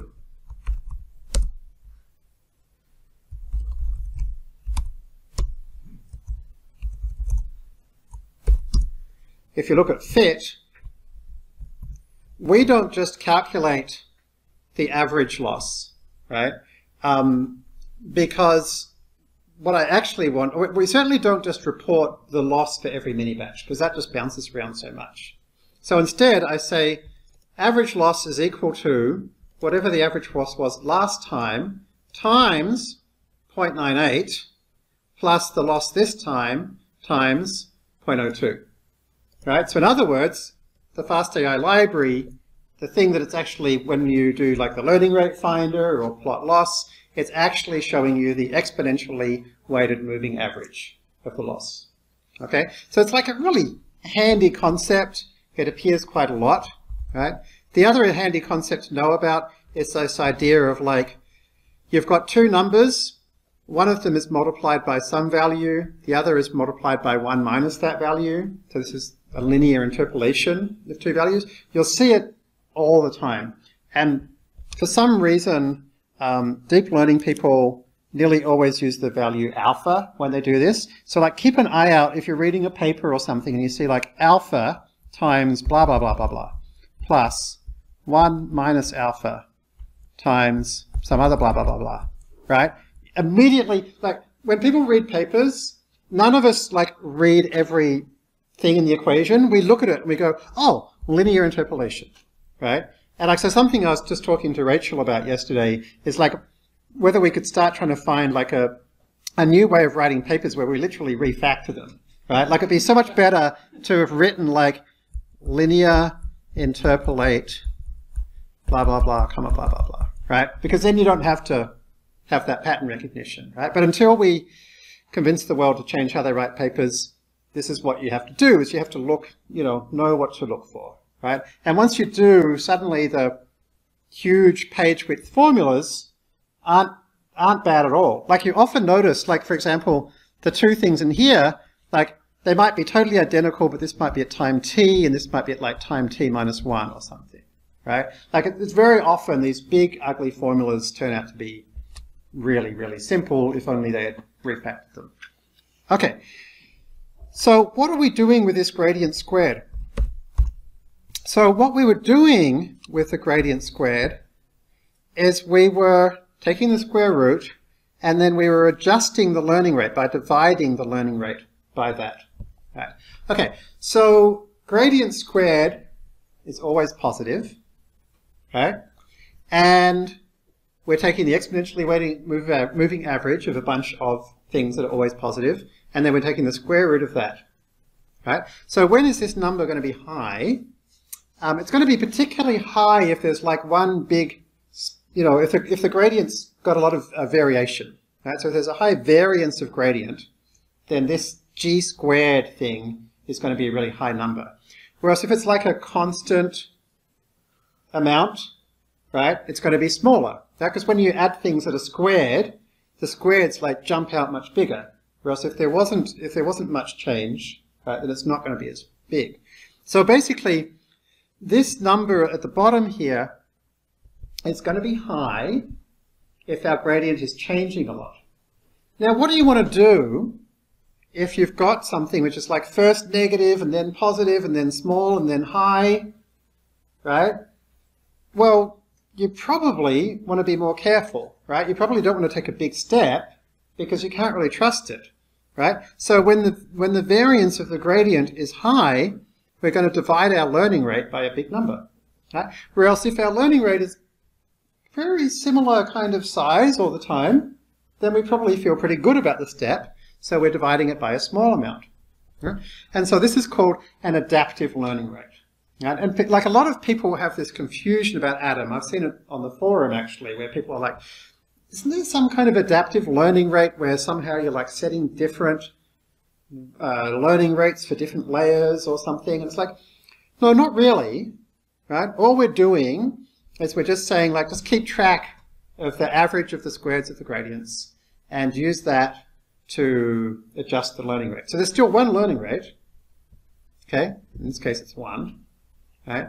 But effectively, every parameter at every epoch is being kind of like getting a bigger jump if the learning rate, if the gradient's been pretty constant for that weight, and a smaller jump otherwise. Okay, and that's Adam. That's the entirety of Adam in in Excel, right? So there's now no reason at all why you can't um, train ImageNet in Excel because you've got you've got access to all of the pieces you need. Uh, and so let's try this out. Run. Okay, that's not bad, right? 5, and we're straight up to 29 and 2, right? So the difference between, like, you know, standard SGD and this is, is, is huge. And basically, the, you know, the key difference was that it figured out that we need to be, you know, moving this number much faster. Okay, and so, and so it did. And so you can see we've now got like um, two different parameters. One is kind of the momentum for the gradient piece. The other is the momentum for the gradient squared piece. And they, I, I think they're called like, I think there's just a tuple of a, beta. I think when you when you want to change it in PyTorch, there's a thing called beta, which is just a tuple of two numbers that you can change. Can you pass that, please? Uh, Jeremy, um, so um, so you said the yeah, I, I think I understand this uh, concept of you know when the when a gradient is it goes up and down, then you're not really sure which direction should should mm-hmm. go. So you should, should kind of slow things down. Mm-hmm. Therefore, you mm-hmm. subtract that Yeah. gradient from the learning rate. Um, so, but how how do you implement that? How far do you go? I guess maybe I missed something in early on. You do you set a number somewhere? We divide, here, we divide the learning rate divided by the square root of the moving average gradient squared. So that's where we use it. Oh, I, I'm sorry. Can you be a little more? Sure, so D2 is the learning rate, which is 1. Yeah. M27 is our moving average of the squared gradients. So we just go D2 divided by square root M27. That's it. Okay, thanks. I have one question. Yeah. Uh, uh, so, uh, the new method that you just mentioned, uh, which is in the process of getting implemented in Yes, uh, Adam W. Yeah. Adam W. Uh, how different is it uh, from here? Okay, I can. Let's do that. Um, so, um, to understand Adam W, we have to understand weight decay, um, and maybe we'll learn more about that later. Let's see how we go now with weight decay. So the idea is that when you have um, lots and lots of parameters, like we do with you know most of the neural nets we train, um, you very often have like more parameters and data points, or you know, like regularization becomes important. And uh, we've learned how to avoid overfitting by using dropout, right, which randomly deletes some activations uh, in the hope that it's going to learn some kind of more resilient um, set of weights. There's another kind of regularization we can use called uh, weight decay or L2 regularization, and it's actually comes kind of kind of classic statistical technique. And the idea is that we take our loss function, right? So we take our like error squared loss function, and we add an additional piece to it. Um, let's add weight decay right now. Uh, the additional piece we add is to basically add the square of the weights. So we'd say plus b squared plus a squared. Okay. That is now um, weight decay or L2 regularization.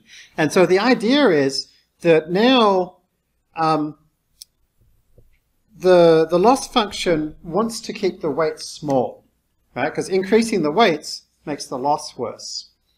And so it's only going to increase the weights if the loss improves by more than the amount of that penalty. And in fact, to make this weight decay, to proper weight decay, we then need some um, multiplier here, right? So if you remember back in our, here we said uh, weight decay equals WD, uh, 5e neg 4. Okay, so to actually use the same weight decay, I would have to multiply by 0.0005. Right, so that's actually now the same weight decay. So um, if you have a really high weight decay, then it's going to set all the parameters to zero. So it'll never overfit, right? Because it can't set any parameter to anything, right? And so as you gradually decrease the weight decay, a few more weights can actually be used, right? But the ones that don't help much, it's still going to leave it zero or close to zero, right? So that's what that's what weight decay is, is, is literally to change the loss function to add in this um, uh, sum of squares of weights times some parameter, some, some hyperparameter, I should say. the problem is that if you put that into the loss function, as I have here, then it ends up in the moving average of gradients and the moving average of squares of gradients for Adam, right? And so basically, we end up, um, when there's a lot of variation, uh, we end up um, decreasing the amount of weight decay, and if there's very little variation, we end up increasing the amount of weight decay. So we end up basically saying um, penalize parameters, you know, weights that are really high, um, unless their gradient varies a lot, which is never what we intended, right? That's just not, not the plan at all. So the trick with um, Adam W is we basically remove weight decay from here. So it's not in the loss function, it's not in the g, not in the g squared, uh, and we move it so that instead it, it's, it's, it's added directly to the, um, when we update with the learning rate, it's added there instead. So in other words, it would be, we would put the weight decay, or actually the gradient of the weight decay in here when we calculate the new A and new B. So it never ends up in our G and G squared. So that was like a super fast description, um, which will probably only make sense if you listen to it three or four times on the video and then talk about it on the forum. Um, yeah, but if you're interested, let me know. Uh, and uh, we can also look at Anand's code that's implemented this. Um, and you know, the, the, the idea of using weight decay is, it's a really helpful regularizer um, because it's basically this way that we can kind of say like, um, you know, please don't increase any of the weight values unless the, you know, improvement in the loss um, is, is worth it. Uh, and so generally speaking, um, pretty much all state-of-the-art models have both dropout and weight decay. Um, and I don't claim to know like how to set each one and how much of each to use, um, other than to say like you, you, you, it's worth trying both. Can I grab the... Um, to go back to the idea of embeddings, is there mm. any way to interpret the final sort of user embeddings? Like, Absolutely. We're going to look at that next week. Um, it's super fun. It turns out that, you know, we'll learn what some of the worst movies of all time are. Uh, I can pass it over. It's like, um, it's that John Travolta Scientology one. It's like Battleship Earth or something. I think that was like the worst movie of all time, according to our embeddings. Well, at least we've learned something. um, do you have any recommendations for scaling the uh, L2 penalty, or is that kind of based on how, how wide the nodes, or how many nodes there no, are? No, I, I, have no suggestion at all. Like I, I, I kind of look for like papers or Kaggle competitions or whatever similar and try to set it vaguely the same. It seems like in a particular area, like computer vision object recognition, it's like somewhere between 1 e neg 4 or 1 e neg 5 seems to work, you know.